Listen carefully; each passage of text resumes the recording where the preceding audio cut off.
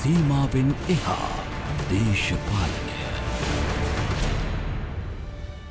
අයිබෝවන් සුප සන්ධ්‍යාවක්. දේශපාලනයේ සීමාවෙන් එහා සාකච්ඡා කරන්නට අදත් සූදානම් මේ සලකුණ දේශපාලන සංවාදය. අසමකින් මගේ මිතුරන් සූදානමින් සිටිනවා අපි හඳුනා ගනිමු රංගල ද සිල්වා. රංගල සුප සන්ධ්‍යාවක්. සුසන්ධයක් සුදේව. ඒත් සමගින්ම හඳුනා ගනිමු ධම්මික යටකිද. ධමික සුප සන්ධ්‍යාවක්. සුප සන්ධයක් සුදේව. අප තිදෙන සමගද සලකුණෙහි දේශපාලන සලකුණ හඳුනාගන්නටයි මේ සූදානම පාරාධනා කළේ අධිකරන සහ බුද්ධ ශාසන අමාත්‍ය ආචාර්ය විජේදාස රාජපක්ෂ මහතාට. ඇමතුමනි අයිබෝවන් සුභ සන්ධ්‍යාවක්. අයිබෝන් සුභ සන්ධ්‍යාවක්. මේ දින වකවානුවල මේ සාකච්ඡාවට වඩාත්ම ගැලපෙන පුද්ගලයා ඔබ කියලා අප තිදනම් විශ්වාස කරනවා. යාපාලන රජයේ බිහිවීමත් සමඟ සංහින්දියාව කියන කාරණය රට තුළ මතු වුණා. සංහින්දියාව දැඩිව සාකච්ඡා වෙන්න ගත්තා. සංහින්දියාව වෙනුවෙන් බොහෝ කරුණු කාරණා විවිධ ආයතන පවා බිහි වෙන්න ගත්තා. හැබැයි වර්තමානය වන විට සංහින්දියාව කොතෙන්ට දෙයන්නේ ප්‍රශ්නාර්ථයක් රටේ බොහෝ දෙනා තුළ මතුවලා තිබුණා. විශේෂයෙන්ම ඔබ බුද්ධ ශාසන අමාත්‍යවර ඒ වගේම බාධි කරන අමාත්‍යවරය මේ බොහෝ කරුණු කාරණා නීතිය හමුවේ අභියෝගයට ලක් වෙලා තිබෙනවා. ඇමතුමනි මොකද්ද මේ වෙන්න යන්නේ? අද විශේෂයෙන් අපි සංහින්දියාව මාතෘකාව කතා කරන මේ මොහොතේ ලෝපුරා ඉස්ලාම් භක්තික ජනතාවද රාමසානුත්සවය ඉතාමත්ම සතුටින් සමරණ දිනය ඒ සියලු ජනතාවට අපි සුභාසිංසන ප්‍රාර්ථනා කරනවා. දෙවනුව ගත්තොත්තෙම ඔබ කියපු සංහිදියාවට මොකද වුණේ. සංහිදියාව කාලෙන් කාලෙට එක්තරා අඩු වැඩවීම් වශයෙන් දිගින් දිගටම අපේ රටේ පැතිච්ච දෙයක්. අපි බොහෝ වෙලාවට මේ සංහිදයාව කියන මාතෘකාව මේ මතු පිටිං අතගාල බැලීමක් තමයි කරන්නේ. සංහිදියාව අවමවීමට සංහිදියාව නැතිවීමට හේතුමනෝද කියලා අපි හොයල බලනවා හරි අඩුයි ඒ පිළිබඳව කතා කරනවා අඩුයි. ඉතින් අපි පිළිගන්නවා ලෝකයේ අද බහුතරයක් රටවල් පාලනය වන්නේ ප්‍රජාතන්ත්‍රවාදී ක්‍රමය යටතේ. ඒකට හේතුව තමයි මේ මානව වර්ගයක් කියන උදවිය රාජ්‍ය කියන සංකල්පය මානව ශිෂ්ඨාචාරයත් එක්ක ඇතිවුණ දවස්සිඳලම මිනිස්සු කැමතින කවදාවත් තව මිනිහෙක් හෝ ගැහනික් කරද පාලනය වෙන්න. අපි කැමතිත් නෑ ඒක ඔබ කැමතිත් නෑ ලෝක හැම මනුෂ්‍යයටම තියෙන පොදු මහපොදු ලක්ෂණයක් තමයි යෝක හැමෝට තින ආත්ම අභිපානය ආත්ම අභිමානය. ඒක නිසා තමයි ලෝකෙ තිබුණ විවිධ පාලන ක්‍රම රාජාණ්ඩු ක්‍රම වැඩවසං ක්‍රම මේ ඔක්කෝම මිනිස්සු පෙරලගෙන පෙරලගෙන තමන්ගේ ජීවිතවලින් ලක්ෂ ගණන් ජනතාවගේ මලකඳං උඩින් මිනිස්සු ගමන් කරමින් ප්‍රජාතන්ත්‍රවාදී කියන ප්‍රජාතන්ත්‍රවාදය හොයාගෙන මිනිස්සු ආවේ. ති අද ලෝකයේ අපි සතුටු වෙන්න ඕන ලෝකෙ බොහෝ රටවල් අද ඒ ප්‍රජාතන්ත්‍රවාදී රාමුව තුළ ක්‍රියාත්මක වෙමින් පවතිනවා. නමුත් අපිට මේ අවස්ථාවද අපි බලන්න ඕන අපේ සංහිධාව නැතිවෙන්න සුවිශේෂ වශයෙන් බලපාපු හේතුව මොකක්ද කියලා. මේ ආසියානු කලාපේ වැඩිම කාලයක් යටත් විජිතයක් විදියට පැවතුණු රට අපේ රට. එදස් පන්සේ පහිදල එදස් අටසිය නමසය හතලිස් අට දක්වා අවුරුදු ආරසිය හතලිස් ගානක් මේ කලාපෙම අපි තමයි වැඩිම කාලයක් එහෙම පරාදීන වෙලා හිටපු ජාති. ඊට පෙරත් අපිට බොහෝ ආක්‍රමණ සිද්ධ වනා අපේ කලාපෙන් විශේෂම දකුණු ඉන්දයා ප්‍රදේශයෙන් අනුරාදුර පොළොන්නරු යුගවල. ඊට පස යුරෝපී ආක්‍රමණ වලට පෘතුගීසි ලන්දේසින් ග්‍රීසි යටතෙත් මෙහෙම වුණා. හැබැයි ඉතින් පුදුම වෙන්න කාරණයකුත් තියෙනවා. මේ තරම්ම ආක්‍රමණ වෙලා මේ තරම්ම විනාශකාරී දේවල් කරලා තාමත් ශ්‍රී ලංකාව ජාතියක් විදියට නැගී හිටින්න පුළුවන් ලෝකේ අභිමානුවත් රටක් විදිට අදටත් පැවතීම ගැන ඇතටම ඒක විශ්ම කර්ම වැඩක් වගේ තමයි මමනන් දකින්නේ. ඒකම විශේෂයෙන්ම බෞද්ධාගම අපේ රටේ එද අනුරාධපුරේ මානව ශිෂ්ඨාචාරය ආරම්භුණ දවසිඳලා රජවරු පෙරමුණ අරගෙන රටේ ඒ අපේ තියෙන දායාදය විදිට රැකගෙන ආපු ඒ බෞද්ධ දර්ශනයත් තේරවාදී ධර්මය මුලස්ථානය විදිට අද දක්වා අපි රැකගෙන ඇවිල්ල තියෙනවා. මෑතක පැවති රටවල් හැත්ත හතරකින් සමන්විත එක්සත් ජාතීන්ගේ ජාත්‍යන්තර වෙසක් දින සැමරුමේදී අපි මහනුවර ප්‍රකාශනයේදී පිළිගැනීමක් කර එලි දැක්වීමක් කර. එක්සත් ජාතීන් පවා බුදු දහමේ මුලස්ථානය ශ්‍රී ලංකාවේ කියන පිළිගැනීම අපි ලබාගත් ශ්‍රී ලංකාවේ කිරීටය සහ රාජ්‍යත්තය සංකේතය බවට බවට පත්වෙලා තිබුණා. ඒ වගේම දළදා වහන්සේ ශ්‍රී මහබෝධීන් වහන්සේ ආරක්ෂා කර ගැනීම රජවරුන්ගේ මූලික යුතුකම් බවට පත්වෙලා තිබුණා. දළදා වහන්සේගේ සන්තකය නැති කෙනෙක් රජෙක් විදියට බාර නොගන්න අපේ රටේ ජනතාව බොහොම දැඩි ලෙස දෛර්යමත්ව කටයුතු කලා ඉතින් ඒ ගුණාංග ප්‍රශ්න ගුණව තිබුණත් ඉති මේ තත්වට දැන් ආරක්ෂා වෙලා ඇවිල්ල තියෙන ඇත්තටම හොඳ ලක්ෂණයක්. ඔබ සංහිදියාව නැවත ඇතිකර ගැනීම පිළිබඳව කතා කර. සංහිදියාව නැවත ඇති කරගන්න ගිහිල්ල ඒක කුරුවල් වෙලා රටක තියෙන් ඕනි ජාතිකත්වය පවා මෙරට දැන් අභියෝගයට ලක් වෙලද තියෙන්. රංගන මම මං හිතන්න මම සුදුසු යෝකට පූර්ණ පිළිතුරක් විදිහට දෙන්න නං අපි වර්තමාන තත්ත්වය ඇති වුණේ කොහොමද කියලත් පොඩ්ඩක් අතීතය ආරවසල බලන්ඩ. දැන් අපේ රටේ දැන් මම කිව්වන අපේ මේ හොඳ ලක්ෂණයක් අපිට ප්‍රජාතන්ත්‍රවාදය ලැබුණ. හැබැයි දැන් ඒ ප්‍රජාතන්ත්‍රවාදය කවත් අපිට ලැබුණ නිදස් නමසය එකොලහේ අපිට විසියෙක් දෙනෙකින් සමන්විත නියෝජිත මන්ත්‍රී මණ්ඩලයක් ලැබුණ. ඒකෙදී නිල නොවන අය අතරින් ආණ්ඩුකාරවරයා පත්කිරීම් කරන්න ලැබුණ හය දෙනෙක්.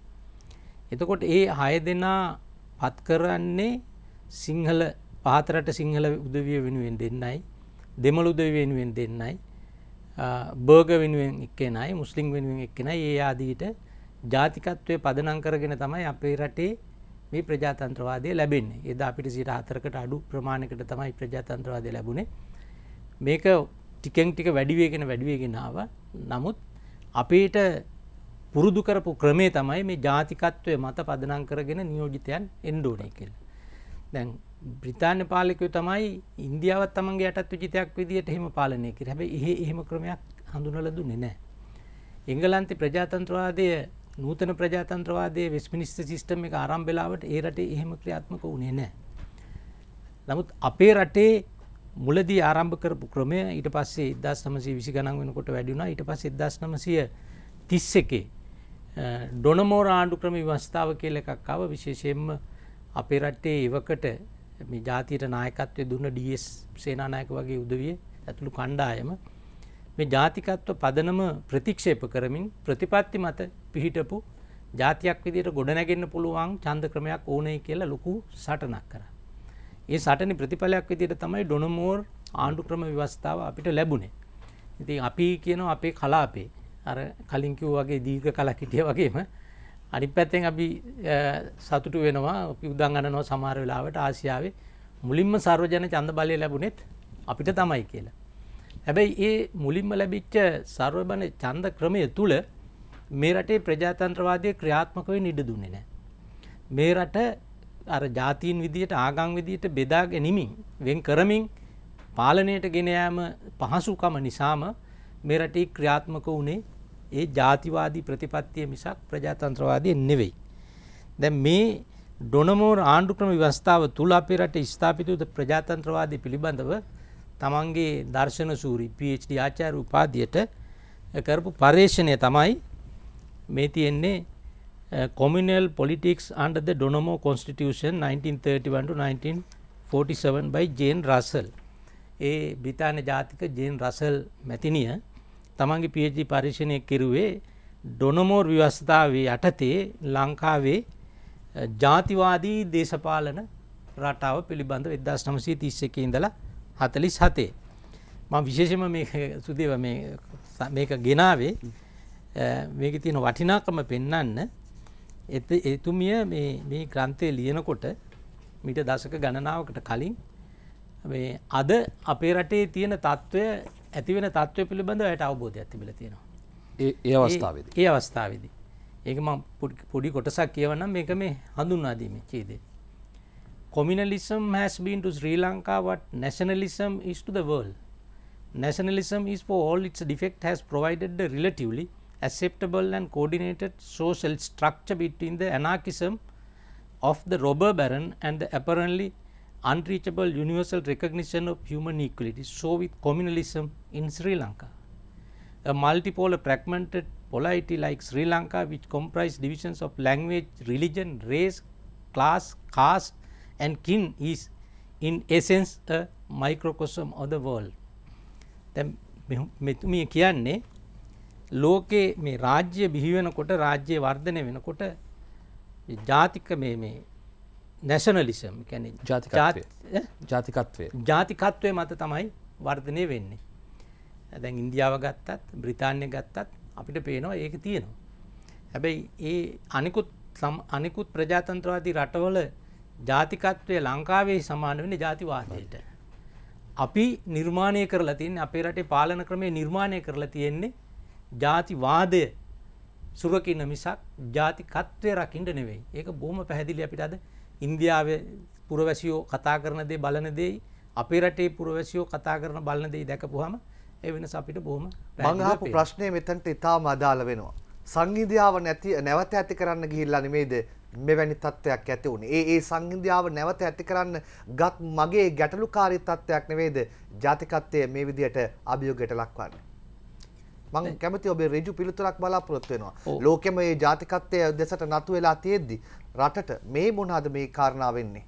දැන් දැන් රංගන ජාතිකත්වය ජාතිවාදය ඒ වගේ ප්‍රජාතන්ත්‍රවාදය ස්වෛරීතාවේ ඔය ඔක්කෝම අපි පදනම් කරන්න අපිට තියෙනවනේ මේ මූලික නීති පද්ධතියක් රටක ඒ මුක්්‍ය නීතිරණ අපි ආණ්ඩුක්‍රම ව්‍යවස්ථාව කියල කියන්න ජාතිවාදයයි ජාතිකත්වයයි පැහැදිලි ලෙස වෙනස් කරලා ඒ වර්ග කරලා හඳුනාගෙන තමයි මගේ ප්‍රශ්නය හැව්වේ. ඒක දෙකක් කියලා හඳුනාගෙන තමයි. මං අහන්නේ ජාතිකත්වය ගැන. හරි මම කියන්න යන්නේ ඒක ජාතිවාදයක් විදියට යනවද ඒක ජාතිකත්වයක් කරා ගමන් කරනවද කියලා රටක් තීන්දු කිරීමේදී ප්‍රබලතම මූලිකම සාධක ආණ්ඩුක්‍රම ව්‍යවස්ථාවය කියන අපි පිළිගන්නවනේ එතොට මේ අපිට දුන්න ඒ ඩොනමෝර් ව්‍යවස්ථාව හතලිස් සටේ නිදහස වෙනකොට අපිට ශ්‍රී ලංකාවේ සෝල්බර් ව්‍යවස්ථාව ඇවිල්ල මේ රට පාලනය වෙලා හැත්ත දෙකේ ජනරජ ව්‍යවස්ථාවට ගිහිල්ල ඊට පස්සේ හැත්ත අටේ දෙවනි ජනරජ ව්‍යවස්ථාවට ගිහිල් අපිද මේ ක්‍රමය තුළන යන්නේ.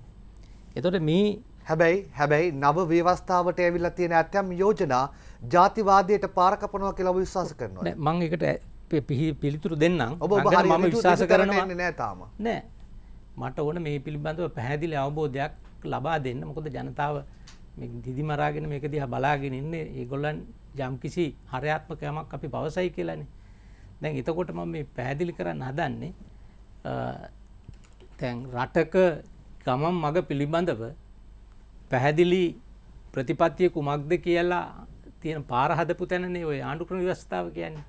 ඉතින් ආණ්ඩුක්‍රම ව්‍යවස්ථාවල් වල හොඳ තැන් දුර්වල තැන් නරක තැන් තියෙන්න පුළුවන්නේ. ඒතකොට ඒක නිසා යන ගමන සමහරලාට පීලිපනින්න පුළුවන්. වමට යන්න ගියාට සමහරලාට ගිහිල්ලා තියෙන්නේ දකුණට. ඒවයි අඩුපාඩු දුර්වලකම් බලපාන්න පුළුවන්. ඇමතුමනේ මහිතන්න රංගන මතු කරන්න හදන කාරණය දැන් සංහිදියාව පිළිබඳ යහපාලන රජයේ මූලික තේමාවක් බවට පත් වුණා. නමුත් ඒ ක්‍රියාත්මක කරන උත්සාහ කරන ඇතැම් පාර්ශවවල යම් යම් ප්‍රකාශත් එක්ක මේ අවුල් ජාලාවක් බවට මේ වෙනකොට පත් වෙමින් තියෙනවාද කියන ප්‍රශ්නාර්ථය. මේ සුදේව මට විනාඩි දෙක තුනක් දෙන්න මට මේක පැහැදිලි කරන්න දැම් මේ ඉදදාශ්‍රමසය හැත්තාටේ දෙවන ජනරජ විවස්ථාව නිර්මාණය කරේ යම් කිසි ඒකායන පරමාර්ථයක් ඇතුව. දැන් ඒ ව්‍යවස්ථාව තුළ අපිට බලාපොරොත්තුන ඉලක්කයට ආවද නැද්ද කියන කාරණය පිළිබඳ අපිට කාටත් අවබෝධයක් තියෙනවනේ. දැ මේ විවස්ථාව ලියපු මහචර ඒජේ විල්සන් මහත්ම මේ විවස්ථාව ලියල අවුරුදු දෙකක් වගේ කාලයක් ඇතුළට ඔහු පොතක් ලියනවා.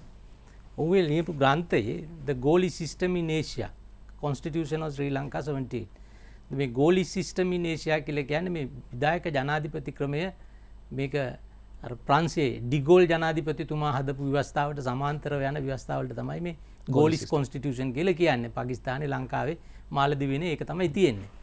දැන් ඒ පිළිබඳ ඔහු ව්‍යවස්ථාව හදල දුන්න තමයි අවශ්‍යතාව යනුව පාලකයන්ගේ. නමුත් ඔහු කියනවද whole framework hands on the skill and ability of one person the elected executive president. That person if he wants to can press the nuclear button which will launch the total total totalitarian holocaust he can only be kept on the straight and narrow path by the social political forces that are permitted to operate in the oasis of freedom දැන් මේකේ මොහු මේ මේ කරුණ කියන්නේ මුළු ව්‍යවස්ථාවම පදනම් වෙලා තියෙන එක පුද්ගලයෙක් අත. ඒක නිසා ඒ පුද්ගලයාට නියුක්ලියර් බොත්තම තද කරලා රටම විනාශ කරලා දාන්නත් පුළුවන් ඕනන. මෙයා පාලනය කරන්න පුළුවන් මේ දේශපාලන සමාජ බලවේග වලින් පමණයි. අවසානයේ ඔහුගේ නිගමනය විදිහට ඔහු කියන්නේ කොහොම නමුත් එයාට විශ්වාසයි කියනවා මේ විවස්ථාව කෙලවර වෙන්නේ කවදා හරි ර- අරාජික රටක් නිර්මාණය කරලා කියලා. දැමතුමා ඔබතුමා හරිතනකට නැවතාව කියතුන මේ කාරණ දෙකත් එක් ඔබතුමා ඩොනමෝර් අවස්ථා පිළිබඳ සෝල්බරි වස්ථා පිළිබඳව අ- අතීතේ කතා කරගෙන ඇවිල්ලා 72 70 වස්ථා පිළිබඳව කතා බහ කළා. හැබැයි 2015 ජනාධිපතිවරණ වේදිකාවට එනකොට මේ සියලු වැරදි අඩුපාඩු මෙන්න මේ දේවල් කියලා ඔබතුමාලා ජනතාව හැම ප්‍රකාශ කරනවා. කරලා මේ අපිට මේ අවස්ථාව දෙන්න මේ අවස්ථාව මගහැරුණොත් ආය රට නිවැරදි මඟට ගන්න බෑ කියලා ඔබතුමාලා කියනවා. හැබැයි අවුරුදු දෙකමාරක් ගෙවිලා මේ ප්‍රශ්න දෙකත් එක්ක එකට එකතු කරගත්තොත් ආයි අපි ඇවිල්ලා තියෙන්නේ හරි තැනකට නෙමෙයි නේද? අර කියන ඔබතුමාත් ඔය වැරදි කියලා දකින ඔය ග්‍රන්ථ උපුටා දක්වමින් කියන ඒ ඒ ඒ එතනම නිකන් එකතැන පල් වෙනවා වගේ දැනෙන්නේ නැද්ද? එහෙම ස්වභාවයක් තේරෙන්නේ නැද්ද ඔබතුමාට? නෑ මෙහෙමයි මේ පල්වීම ආරම්භ වුණේ මේ අවුරුදු දෙකමාර නෙමෙයි මේ පල්වීම ආරම්භ වෙලා දැන් අවුරුදු 20කට වැඩි. දැන් බලන්න මේ 78 විවස්ථාව ආවට පස්සේ දෙවනි ඊළ- ඒ පළවෙනි වි- ඒ ආ- ම- මේ ඡන්දය තියන්න තිබුණ අවස්ථාවේ ඡන්දය තියාගන්න තිබ්බේ නෑ. ජනමත විචාරණයකට ගියා. 1989 දෙවනි පාර්ලිමේන්තු මැතිවරණය පැවැත්වුවේ මොන තත්ත්වයක් ඇතද කියලා ඔබතුමාලට අමුතුවෙන් කියන්න ඕනේ නෑ. ඒකේ ප්‍රතිඵලය කුමක් වුණා. ඊළඟට 1994 ජනාධිපති වැත්- මැතිවරණය සාර්ථක සාධාරණ මැතිවරණයක් විදිහට පැවැත්වුවා. ඊළඟට පාර්ලිමේන්තු මැතිවරණ පැවැත්වුවා. එතකොට ඒ පාර්ලිමේන්තු මැතිවරණයේත් චන්ද්‍රිකා මැතිනියගේ රජයට සමග ඒ පෙරමුණට ලැබෙන්නේ ආසන 112ක් විතරයි. එතකොට මුස්ලිම් කොංග්‍රසයට තිබුණ එක හෝ- ආසන දෙක එකතු කරගෙන තමයි එදා රජයක් පිහිටුවේ. ඊළඟට බලන්න දෙදාහ දෙදස් එක දෙදස් හතර මේ එක අවස්ථාවකවත් හරියට බලයක් එක්ක ආණ්ඩුවක් පිහිටුවන්න කාටවත් බලයක් ලැබුණේ නෑ. ඊළඟට උනේ මොකද එදස් දෙදස් දහයේ දෙදස් දහයේ විතරයි මේ කාලෙකට පස්සේ ප්‍රබල ආණ්ඩුවක් හදන්න පුළුවන් බලයක් ලැබෙන්නේ මහින්ද රාජපක්ෂ ජනාධිපතිතුමා අවසාන වීමේ අවසාන. වීමත් සමඟ ආසන එකසි හතලිස් හතරක ආසන සංඛ්‍යාවක් එතුමට ලැබෙනවා. නමුත් එතුමට තුනෙන් දෙක බලයක් කවරුව දුන්නේ නෑ. ඒ වෙලාවෙදී ඒ තුනෙන් දෙක හැදෙන්නේ කොහොමද එක්සත් ජාතික පක්ෂ අපිත් එක්ක තර්ග කරපු මුස්ලිම් කොංග්‍රසය හත් දෙනෙක් අරගෙන ජනාධිපති මහින්ද රාජපක්ෂ මැත්තුමගේ දෑත් ශක්තිමත් කරන්න ඕන කියලා මාසයක් මාසකීපයක් ඇතුළත ආණ්ඩුවට සම්බන්ධ වන දහටවෙනි සංශෝධනයට සහය දෙන්න. ඇතටම මේ දහටවෙනි සංශෝධනය නොගෙනාව නම් සමහරලාට ඒක හුඟක් සුබදායක දෙයක් වෙන්නට තිබුණ රටට ඒ වගේම හි- හිටපු පාලකයන්ටත් හුඟක් සුබදායක වෙන්න තිබුණා. නමුත් මේ තුනෙන් තුනෙන් දෙකේ බලය අරගෙන ඒ තුන්- ඒ- ඒ දහටවනි සංශෝධනය සම්මත කර ගැනීමත් එක්ක ලැබුණු උත්තේජනය තුළ තමයි හුඟක් අයට තමන්ගේ තරණ තනතුරු ඔරොත්තුන දෙන තත්වයට ගිය. ඒක නිසා තමයි හුඟක් රටේ වැරදි දේවල් වලට පෙළඹුණේ ප්‍රජාතන්ත්‍රවාදී පිරිුණේ අධිකරණ ක්‍රමය කඩා වැටුනේ සංහිදියාව නැති වෙලා ගියේ ওই ක්‍රමය තුළ ඒක නිසා මේකට හේතු තියෙනවා. ඉතින් ඒ හේතු අපි හඳුනගෙන තමයි ඔබ අහන ප්‍රශ්නය අපි දෙදස් පහළවේදී දෙදස් පහලේ ජනවාරි අටවනිද මැතිවරණයට ගිය සැත්තැම්බර් පාර්ලිමේන්තු මැතිවරණට ගිය ඒද අපි ජන සංහින්දියාව ඇති කරනවය කියෙන විශ්වාසය ජනතාවට ලබා දුන්න ඒ විශ්වාසය පිළිඅරගෙන තමයි ජනතාව අපිට චන්දය ලබා දුන්න. ඔබතුමා හිතනවද ජනතාව තුළ ඒ විශ්වාසය අදටත් ඒ ආකාරයෙන්ම කිසිදු අඩුවක් නැතුව තියෙනවා කියලා. නෑ එහෙම තියෙන බෑනේ ප්‍රජාතන්ත්‍රවාදය තුළ එහෙම ලෝක කොහෙවත් තිබිලන ඒ උත්තරෙත් හොඳම ආණ්ඩුවටවත් එහෙම තියෙන බෑ ඒ උත්තරෙත් එක්ක අර ගම්මිකගේ ප්‍රශ්නේ එන්න කලින් ඔබ නතර කරපු තැන මට පොඩ්ඩක් පැහැදිලි කරගන්න ඕනේ. ඔව්. ප්‍රංශයත් උදාහරණයට අරගෙන අරාජිකත්වයට පාර කැපුවා කියලා. නෑ මම ඒක මම කියපු කතාවක් නෙවෙයි. ඒ ඒ ඒ ඒ- කියපු කාරණේද රංගන අහන්නේ ඒකයි. ඒ කියපු කාරණේද මේ වෙමින් යන්නේ පාර. කැපීමක් මේ වන විට මෙරට සිදුවෙමින් පවතිනවා කියන තැනද අපි හරිනේ ඇත්තටම. දැන් අවුරුදු තියක යුද්ධයක් තිබුණා බරපතලව යන කාලේ අවසාන වසර පහගායක වගේ කාලේ මෙරට අරාජික වෙලා තිබුණනේ එදදාස් අසුවත් අසුවට කාලේ දකුණත් ජිනිගත්ත උතුරත් ජිනිකත් අරාජික වෙලා තිබුණනේ. ඊට පස්සේ නැවතත් එකක් පැත්තකින් LTT ත්‍රස්තවාදය නිසා රට අරාජික වුණ. අනි පැත්තෙන් ජනතා විමුක්ති පෙරමුණේ තරුණ කැරල්ල නිසා මේ රට අස්ථාවර වුණ අරාජිකත්වය කරා ගියා. එක් අවස්ථාවක් තිබුණ කාල පරිච්ඡේදයක් මේ දෙකම එකට ක්‍රියාත්මක වෙච්ච නිසා රට අරාජික වුණා. ඊට පස්සේ නැවතත් වෙනත් ක්‍රමයකින් 18 වෙනි සංශෝධනය ගෙනල්ලා විධායක ජනාධිපති ක්‍රමයේ ස්ථාවර භාවය හදා ගැනීම නිසා රට අරාජික භාවයට ගමන් කරා. වරින් වර අඩු වැඩි වශයෙන් රංගන අරාජිකත්වය කර ගම ඔබ මගේ ප්‍රශ්නයට උත්තරයට කලින් තැන ඔබ නවතින්නේ. හැම මොහොතෙන් මං අහපු වෙලා කියන්න කලින් ඔබ තව ප්‍රශ්නයක් අහනවනේ. නෑ නෑ. මං එහෙනම් ඍජු අහන්න. වහන්ඩ සංහිඳියාව කියන කාරණාව නිවැරදිව ස්පර්ශ නොකිරීම තුළ දැන් අරාජිකත්වයට පාර කැපිලා තියෙනවාද? කෙලින් උත්තරයක් දෙන්න. මම කෙලිම උත්තරේ මෙහෙම කියන්නම්. දැන් අපි මේ අරාජිකත්වය නැති කරන්න මූලිකවම කළ යුතු දෙයක් කුමක්ද කියලා ජනතාවට කිව්වනේ. ඒක තමයි මේ දහටවනි සංශෝධනය අපි අවලංගු කරනවා. දහටවනි සංශෝධනයෙන් අහෝසි කරපු ස්වාධීන කොමිෂන් සභාටික නැවත අපි පිහිටවන. ඒකම අපි කිව්වා ජනමත විචාරණයකට නොගිහින් විදායක ජනාධිපති තනතුරේ බලතල අවම කරන්න පුළුවන් ප්‍රමාණයට අපි අවම කරනවා ඒක විමධ්‍ය ගත කරනවා. එතකොට අපි දුන්න ලොකුම ජනතාවට දුන්න බලාපොරොත්තු ඒක. ඒ අපි දවස් සීයකින් කරනවා කියලා කිව්වේ. අපි ඒක දෙදස් දාශය අප්‍රේල් මාස විසි අටවැනිද. අපිත් එක මොනමොන ගැටුන් තිබුණත් එදා ඒ හිටපු ජනාධිපතිතුමාගේ කණ්ඩායන් ශ්‍රී ලංකා නිදස් පක්ෂ කණ්ඩායම් ොද අපි ලෝකයේ පුංචිම ආණ්ඩුව තමයි අපි පිහිටෙව්වේ දෙදස් පහළවේ ජනවාරී අටවෙනිද. දෙසිය විසිපාකින්න පාර්ලිමෙන්තුව හතලි සත් දෙනෙක් හදපු ආණ්ඩුව. ඉතිහාසම තිබුණ කුඩාම සුළුතර ආණ්ඩුව. හැබැයි අපි ඒ පිළිබඳවත් ඒ පිළිබඳව ප්‍රශ්නාර්ථ ආව. හතලි සදන ආණ්ඩුවට කොහම දගමතිකම දුන්න? මේගේ ප්‍රශ්නත්තාව ගමත කෙනෙක් පාර්ලිමෙන්තුව ඉන්ඩ දිතාවගමත කෙනෙක් පත්වන මෙහෙම ඒවත් ප්‍රශ්නාව ඕ ආව. හැබැයි ඉතින් ඒ පාර්ලිමේන්තුව තුළ මේ රටට කිසිම හානිදායක දෙයක් වුණේ නෑන. ඒ සුළුතරය දැම් බලන්න ලංකාවේ පාර්ලිමේන්තුව හොඳටම වැඩිපුරම බලතල ලැබුණ දෙදස් දහය මැතිවරණ ඒකසි හතලි සතර කාසන. ඒ අවුරුදු පහක කාලය තුළ තුනෙන් දෙකක බලයත් අරගෙන ලංකාවේ පාර්ලිමේන්තුව පනවනලද දූෂිතම නීතියන ගෙනාවේ දහටනි සංශෝධනය. අනි පැත්තෙන් ගත්තම චන්ද්‍රිකා මැතිනය දෙදසිකේ ඒකට කිව මොකක්ද ප්‍රබේෂන් ගවට්මන් පරිවාස පරිවාසාණ්ඩුව. ඒකන ඒ ඒ අවස්ථාවත් පාර්ලිමෙන්තුව බහුතරය නැතුව දුර්වලම වෙච්ච අවස්ථාව.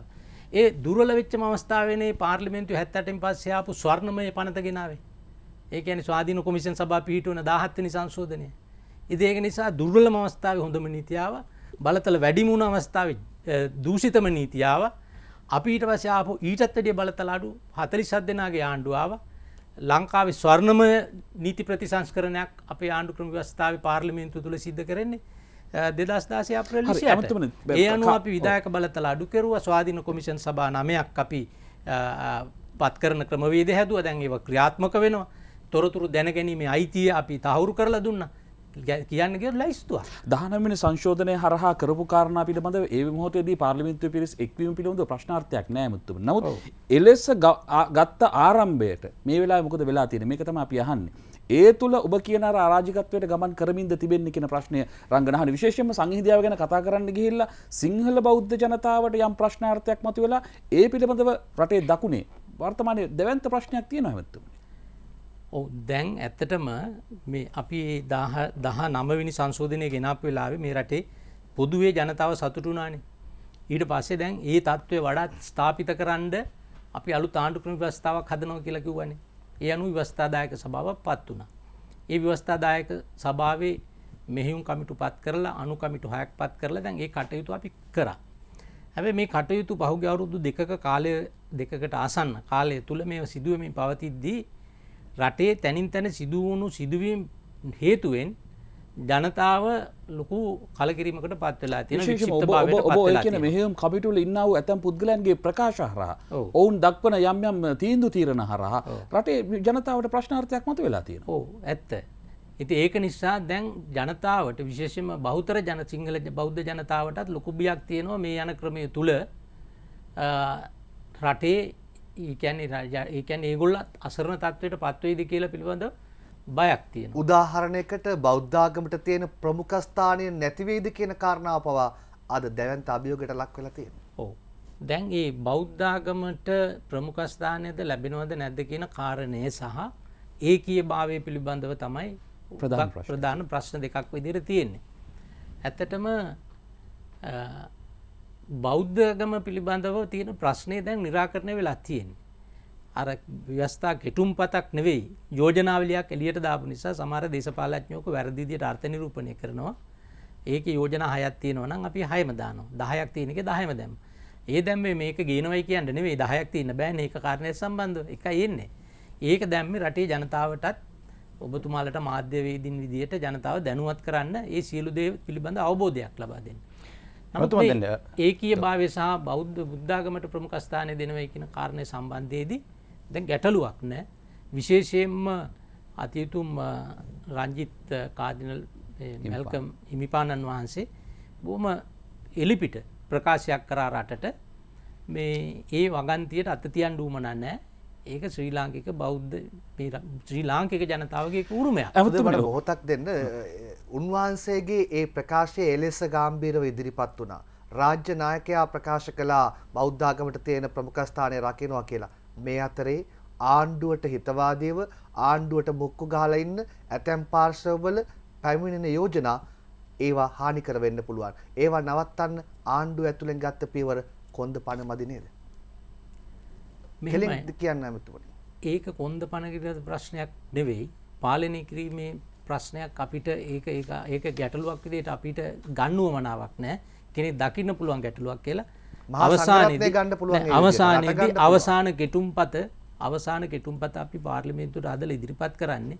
ඒ ඒ පුද්ගලයන්ගේ අදහස් මත නෙවෙයිනේ අපේ කමිටුව අපි එකඟතාවක් තියෙනවනේ. කුමක් යම් යම් කාරණා අපි සම්බන්ධව. අපි අපි ඒ කාරණයෙන් අපි මදකට පස්සටෙමු ගිහිල්ලා විශේෂයෙන්ම මේ පහු- පසුගිය දෙන අස්කිරි පාර්ශවය මතුකරපු කාරණාවලටෙමු එකැන මේ ගමන ගිහිල්ලා ගිහිල්ලා ගිහිල්ලා අස්කිරි පාර්ශවය ඉතාමත්ම උච්චතම ස්ථානදියම් ප්‍රකාශයක් නිකුත් කරනවා. අපි ඒ ප්‍රකාශවලට යමු. සලකුණ වර්තමානයේදී දේශපාලනඥයන් සහ විවිධ ජනවර්ග නියෝජනය කරන කොටස් විසින් කරන කියන දේවල් තුළින් භික්‍ෂූන් වහන්සේලාට හිරියට පීඩන ඇතිවෙන තත්ත්වයක් ඉස්මතු වී පවතිනවා. සියලු ජනවර්ග සමග සමගියෙන් ජීවත්වන ප්‍රජාවක් අපේ රට තුළ සිටින්නේ. ඒ සංහිතියාව සිඳන බිඳන විදිහට මේ ගැටුම්කාරී තත්ත්වයක් බෞද්ධාගම විශේෂයෙන් මුල් කරගෙන නිර්මාණය වෙන බවක් අපිට පේනවා. ඒ තත්ත්වය සමනයකට පත් කරමින් අපේ රට තුළ මෙතෙක් පැවති ආගමික සහ ජාතික සංහිදියාව තහවුරු කිරීමේ අපේක්ෂාව ඇතුව තමයි අපි මේ කාරණා ඉදිරිපත් කරන ලබන්නේ. අපේ බෞද්ධයන්ගෙන්ම සිංහලයන්ගෙම ඡන්දයෙන් පාලන බලයට පත්වෙච්ච පුද්ගලයෝ තමයි මේ කටයුතු වල නිරත වෙලා සිටින්නේ. බෞද්ධයන් අතරම ගැටීමක් ඇති කරන තත්ත්වයක් තිබෙන්නේ. අපිට මහා විහාර සම්ප්‍රදාය සීමාවේ ඉඳගෙන කරන්න පුළුවන් දේ තමයි අපි මහ ජනතාවට අපි කියා සිටිනවා මෙවන බෞද්ධ විරෝධී අපේ සිංහල විරෝධී දේශපාලකයන් ප්‍රතික්ෂේප කරන්නයි කියන ඉල්ලීම දැනුවත් කිරීම තමයි අපිට කරන්න තිබෙන්නේ. මේක කොලේලියක් පමණයි රතු එළිය පස්සේ. අපේ ප්‍රතිපත්තිය අනුශාසනා අවවාද දඬුවම්. මලති මහවිහාරය සමගත්, ඒ වගේම තුන් නිකායන් සමගත්, සෙසු පාර්ශ්ව සමගත් මේ රටේ තියෙන තත්ත්වය පිළිබඳව ඉතා ළඟදීම තීරණයක් ගැනීමේ අවශ්‍යතාවය තියෙනවා.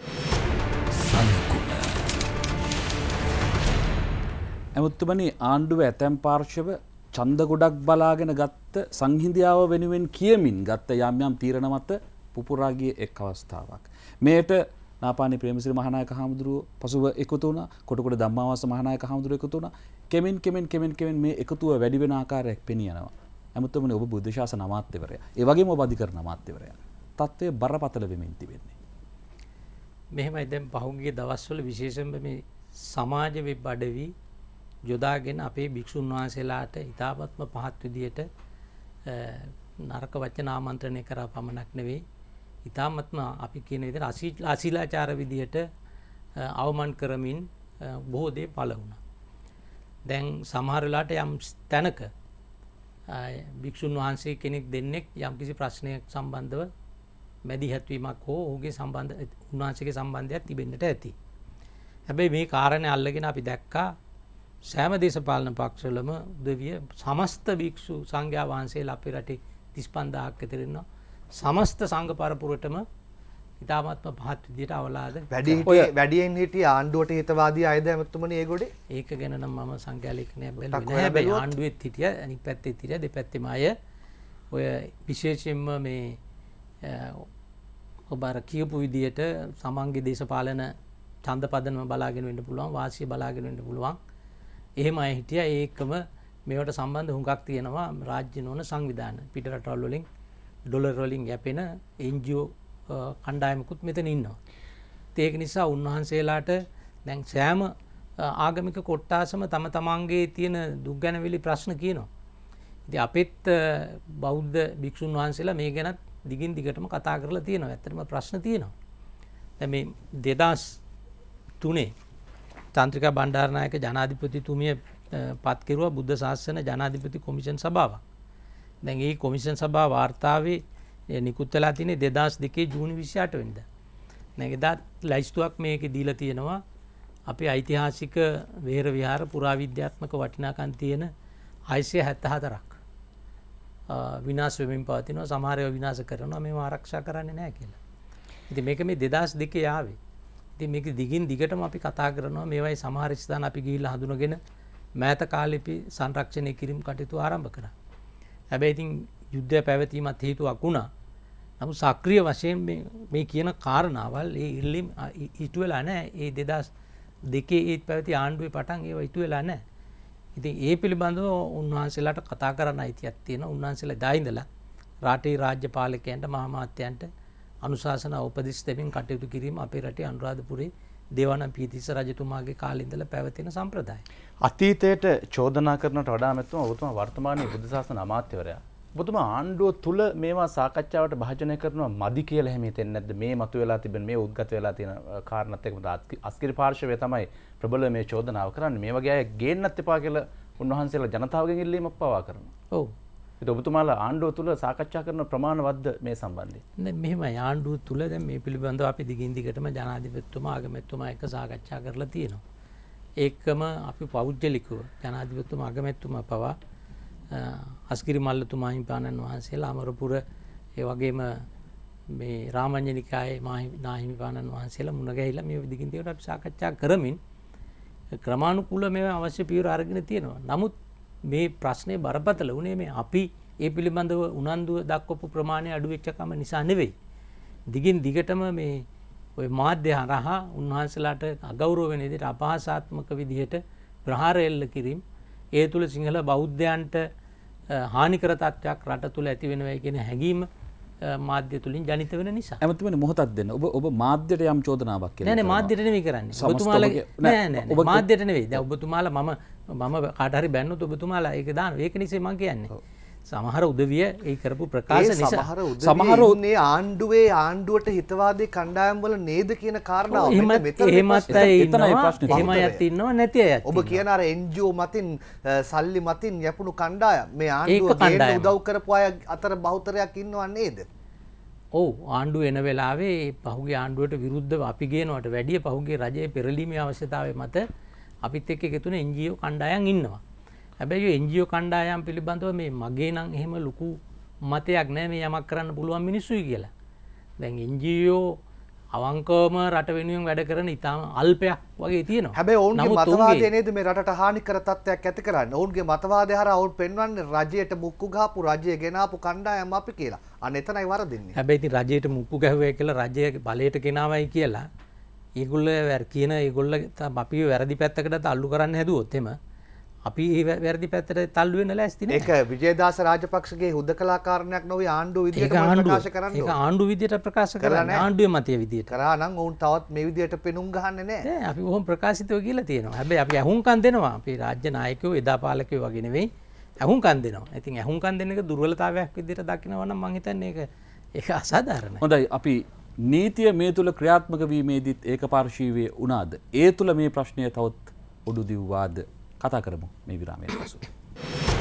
සලකුණ සීමාවෙන් එහා දේශපාලනය සීමාවෙන් එහා දේශපාලනය සලකුණ දේශපාල සංවාදය සමඟ ඔබ යාලියකුතු වෙන්නේ අධිකරන සහ බුද්ධ ශාසන මාත්‍ය ආචාර්ය විජේදාස රාජපක්ෂ මහතා යත සලකුණේ දේශපාලන සලකුණ තබන්නේ.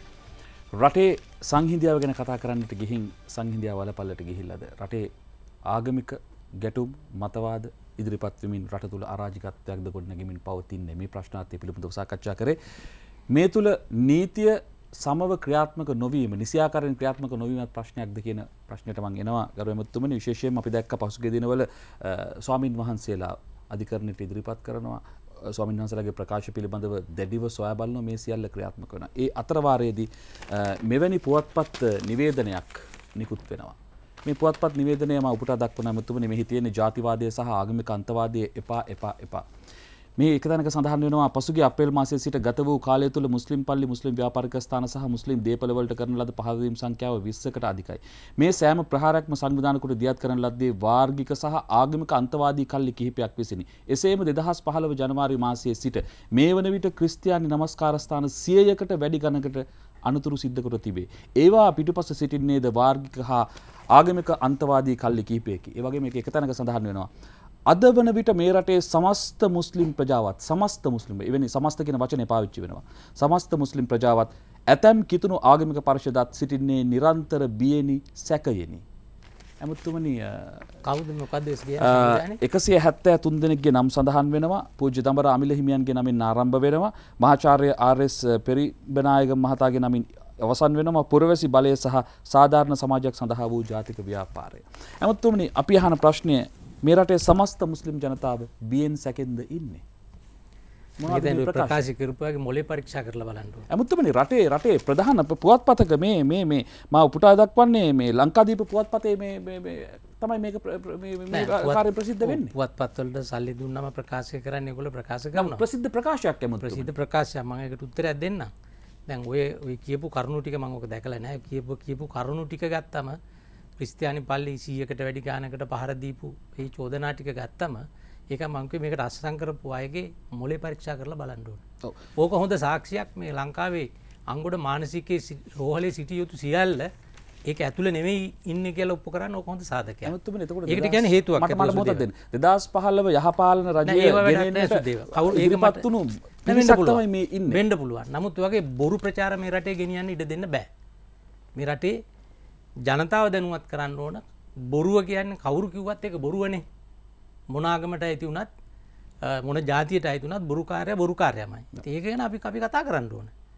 එම වගේ බොරු ප්‍රකාශ කරන්න පුළුවන් නම් මාධ්‍යයට රටේ නරන තනතුර මොකක් වුණත් ඒක ඇති පද තින වැදගත්. මේ මතවාදන වේද රටගිනි තියන්නේ? මේ වතවත්තම රට ගිනි තියන්නේ. දැන් අර ගී සතිය ලක්ෂාන් ඩයස් මේ දෙරණ අලුත් පාර්ලිමේන්තුවේදි කතා කරද්දි ඒක කිව්වා ක්‍රිස්තියානි දේවස්ථාන දේවස්ථාන එකසි අනු පහකට පහර දිල තියෙනවා කියලා කෞද කියන් ගිනිතිවේ මේ ගැහුව කලාපමකුවා මේරට භික්ෂුන් වහන්සේලා කියලා. අපේ මාධ්‍යවේදයට දුස් කියන තුමා තුමාගේ වගකී මිස්ට කර. මේක රටගිනි තියෙන ප්‍රශ්නයක්. වගකීමෙන්ද කියන ඕම බොහම වගකීම කියන්න. මන් අඩු එකසේ විසිකානකට පෙන හිටිනවකුව. ඇයිට පස්සේ මම අභියෝගයක් කර. පැ විසි අතරක් ඇතුළද ජනතාවගෙන් සමාගත්ත නැත්තම්ම නීතිමය පියවරගන්න කටයුතු කරනවා කියලා වූ නීතිඥ වෘත්තයෙන් නිරපීමට අවශ්‍ය පියවර අතරක් ඇතුළ සමාව ගත්තද? ගත්තන එනම් මොකද බතුමා දැන් කරන ක්‍රම ශ්‍රේෂ්ඨාධිකරනට ඉදිරිපත් කරනවා. ඕටිරුද ක්‍රියාමාර්ග ගන්න. ඔබතුමා ඔබතුමා ඒ වගේ පුද්ගලයෙක් රටගෙන තියෙන පුද්ගලයෙක් නීතිඥ වෘතියට මවා වෙලා. මොකද නීතිඥ වෘතිය යොදාගෙන ඒක කිව්වේ. මම නීතිඥවරේ මළඟ තියෙන ප්‍රකාශනය. මම නඩු එකසිය විසිකා එකසිය ගානකට පෙනීදල තියෙන අදත් නඩුව පවරලාවේ ඔබතුමා ඉන්න ස්ථාවරය අවසානය දක්වා ඔබතුමා ගමන් කරනවද නැත්තමං එහෙම ප්‍රකාශයක් කරන්න ඇමතුම ඒ දැන් ඒකට මං දැ ම මේ පුරුයි කියල කියන ඔක්කොම කියන්න මං එක පෙන්න්නට පැව තමන් අද අද දක්වා තත්ත්වය මම කියන්නම්. මේ රටේ ආගමික ජාතික පදනම් මත සිදුවෙච්ච සිද්ධින් ගණනා මන් බොහොම පැදිලෝ කියන්න. සිංහල ජනතාවට සහ බෞද්ධාගමට හානිවනයි අයුරින් සිදු කර ඇතැයි චෝදනාවී ඇති සිද්ධීන්. සිංහල සහ බෞද්ධයට. කියක් තියෙනවද? මං අකින් එක තියෙනවා නඩුත් එක්කම තියෙනවා නමයක්. එතකොට මේ එක ප්‍රදේශවලින් හෙම්මාතකම උපවෙලි ඒ යනාදී. මුස්ලිම් ජාතිකෙන්ට සහ ඉස්ලාම් ආගමට හානිවන අයුරින් සිදු කර ඇති සිද්ධීන් සම්බන්ධව විස්තරය කියක් තියෙනවද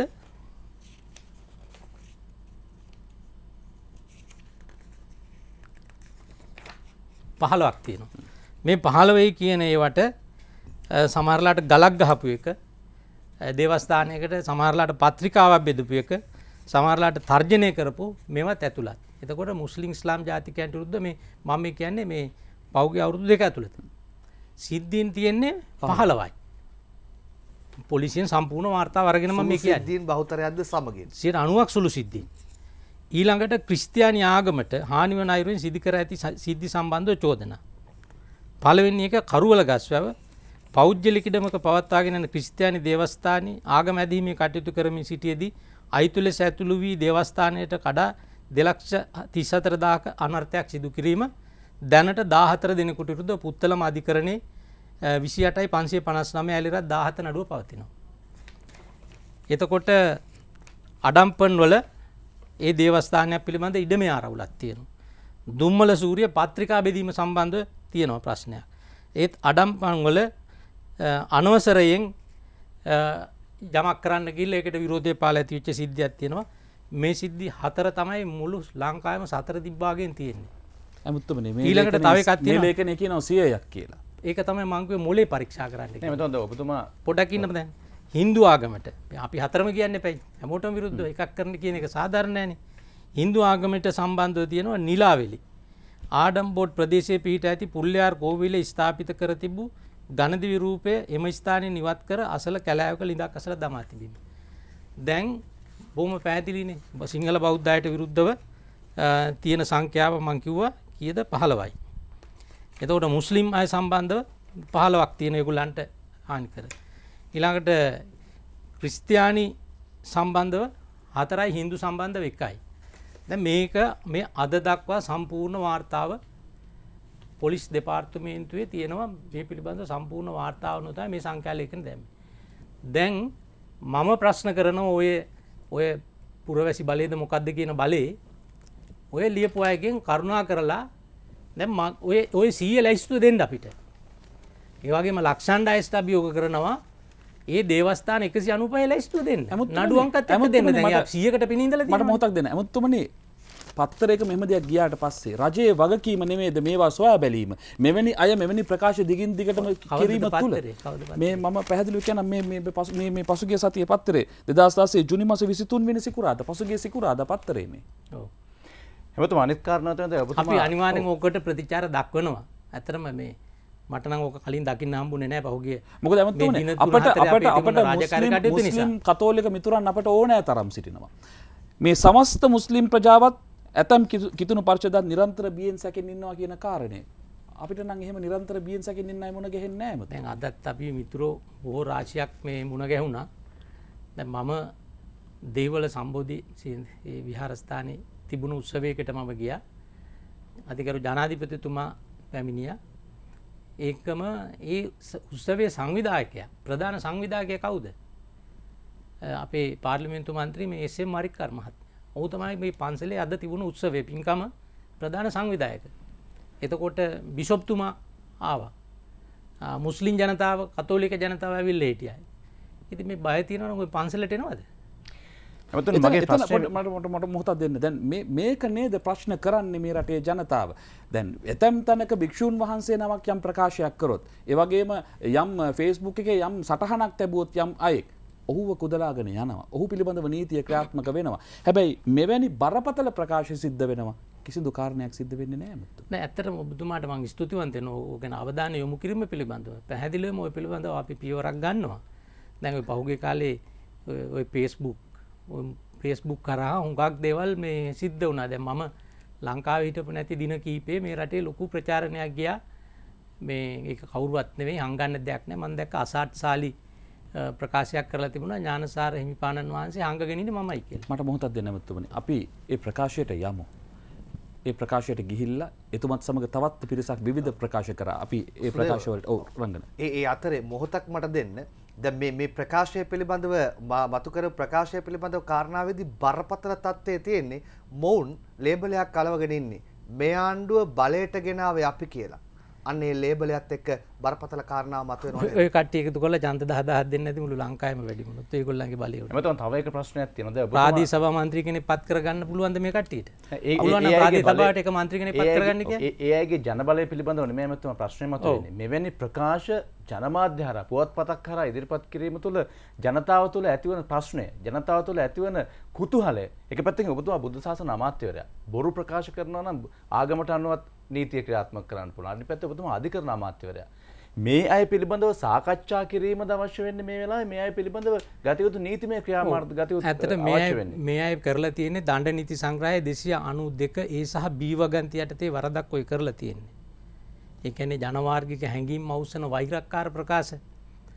දැන් ඒ සම්බන්ධව පොලිසියට ක්‍රියාත්මක වෙන්න පුළුවන් දණ්ඩ නීති සංග්‍රහයේ 292 යටතේ.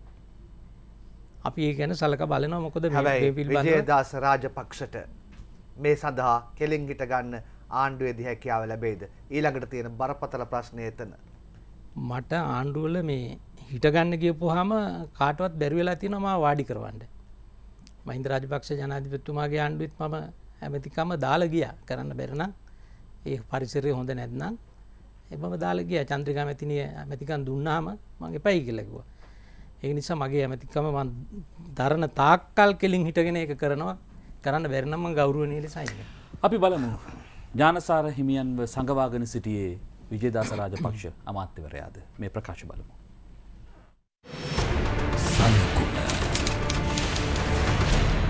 දැන් විජේදාස රාජපක්ෂ මහත්මයාගේ ගෙදර හිටපු ලේකම් කෙනෙක් මේ එළියට ඇවිල්ලා ප්‍රකාශන කරනවා. විජේදාස රාජපක්ෂගේ ටෙලිෆෝන් එක මගේ අතේ තිබුණේ හිටපු ගමම්ම කෝල් එකක් ආවා. විජේ මම ගෝඨාභය රාජපක්ෂ කියලා කියනවා. කියනකොට මං කිව්වා සර් මම නෙවෙයි විජේදාස රාජපක්ෂ පොඩ්ඩක් කොහම ලයින් එකේ ඉන්න සර්. මම දුවගෙන කියලා කිව්වා. ෆෝන් එක උස්සගෙන මුල්ලකට ගියා. කුචු කුචු ගැව්වා. ආයිත් පල්ලයට ඇවිල්ලා ඥානසාර ස්වාමීන් වහන්සේ හම්බුණා. ඇවිල්ලා කිව්වා බය වෙන්න එපා. මම ඔක්කොම කරන්නම් කියලා. ගෝඨාභයගේ අර ටෙලිෆෝන් කෝල් එකට කිසිම පොලිසියකට යට යන්න උවමනා වුණේ නැහැ. කිසිම උසාවියකට යන්න උනේ නැහැ. ඒ සියලු දෙම විජේදාස රාජපක්ෂ බලාගත්තා කියලා මම කියන්නේ නැහැ. එයාගේ ගෙදර ඉන්න කෙනා කියනවා. අපේ ජනාධිපතිතුමා හම්බ වුණා. එතුමා අරගෙන ආවා හිටපු ජනාධිපතිතුමා කරපු ප්‍රකාශයක්. එයා හම්දුරෝ කියනවා භික්ෂු දඩේ මේ ඔහොම ගෙනිච්චොත් මේ ආණ්ඩුව පෙරලා දානවා. ඒක පෙන්නලා තුමා කිව්වා මේ සියල්ලම කරන්නේ දේශපාලන වමනාවක් උඩ රාජපක්ෂ පවුලේ. ඒ අතරම කිව්වා මේ ආණ්ඩුව තුලමත් මේකට උපකාර වෙනා ඉන්නවා කියලා. පෙන්නුම් කළා විජේදාස රාජපක්ෂත් රාජපක්ෂ කෙනෙක්ගේම ගොඩට වැටෙන තත්ත්වයට ඉන්නවා කියලා. මීට මාස කිහිපයකට ඉස්සල්ලා අධිකරණ ඇමති විජේදාස රාජපක්ෂ මහත්මයා මේ ගලගොඩ අත්තේ ඥානසාර භික්ෂුවත් සමග එකට මේ විදිහේ ප්‍රවෘත්ති සාකච්ඡාවක් පවත්වනවා. ඒ ප්‍රවෘත්ති සාකච්ඡාව අවසානයේදී ගලගොඩ අත්තේ ඥානසාර භික්ෂුව කියනවා අපේ ප්‍රශ්න තේරුම් ගත්ත අධිකරණ ඇමතිවරයෙක් අපිට ලැබිලා තියෙනවා කියලා. දැන් මේ හයිය තමයි එක පැත්තකින් මේ වගේ භික්ෂූන් වහන්සේලා පාවිච්චි කරන්නේ.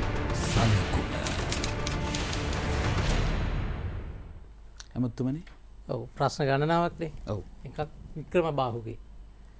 මම ඔක ඇතිකරු ජනාධිපත්තුමාගෙන් ඇහුවා. ඔය ජනාධිපත්තුමා මුණගැහෙන්න ගියපු කණ්ඩායමේදී වික්‍රම් බහු වචනයක්කත් කතා කරලා නෑ ජනාධිපත්තුමත් එක්ක. බාහුට තියෙන ප්‍රශ්නේ බාහු තිබුණට බාහුවලට උඩින් තියෙන්න ඕන එක නෑනේ ඒ නිසා මේ පිළිබඳව මේ තේරුම් ගන්න බෑ.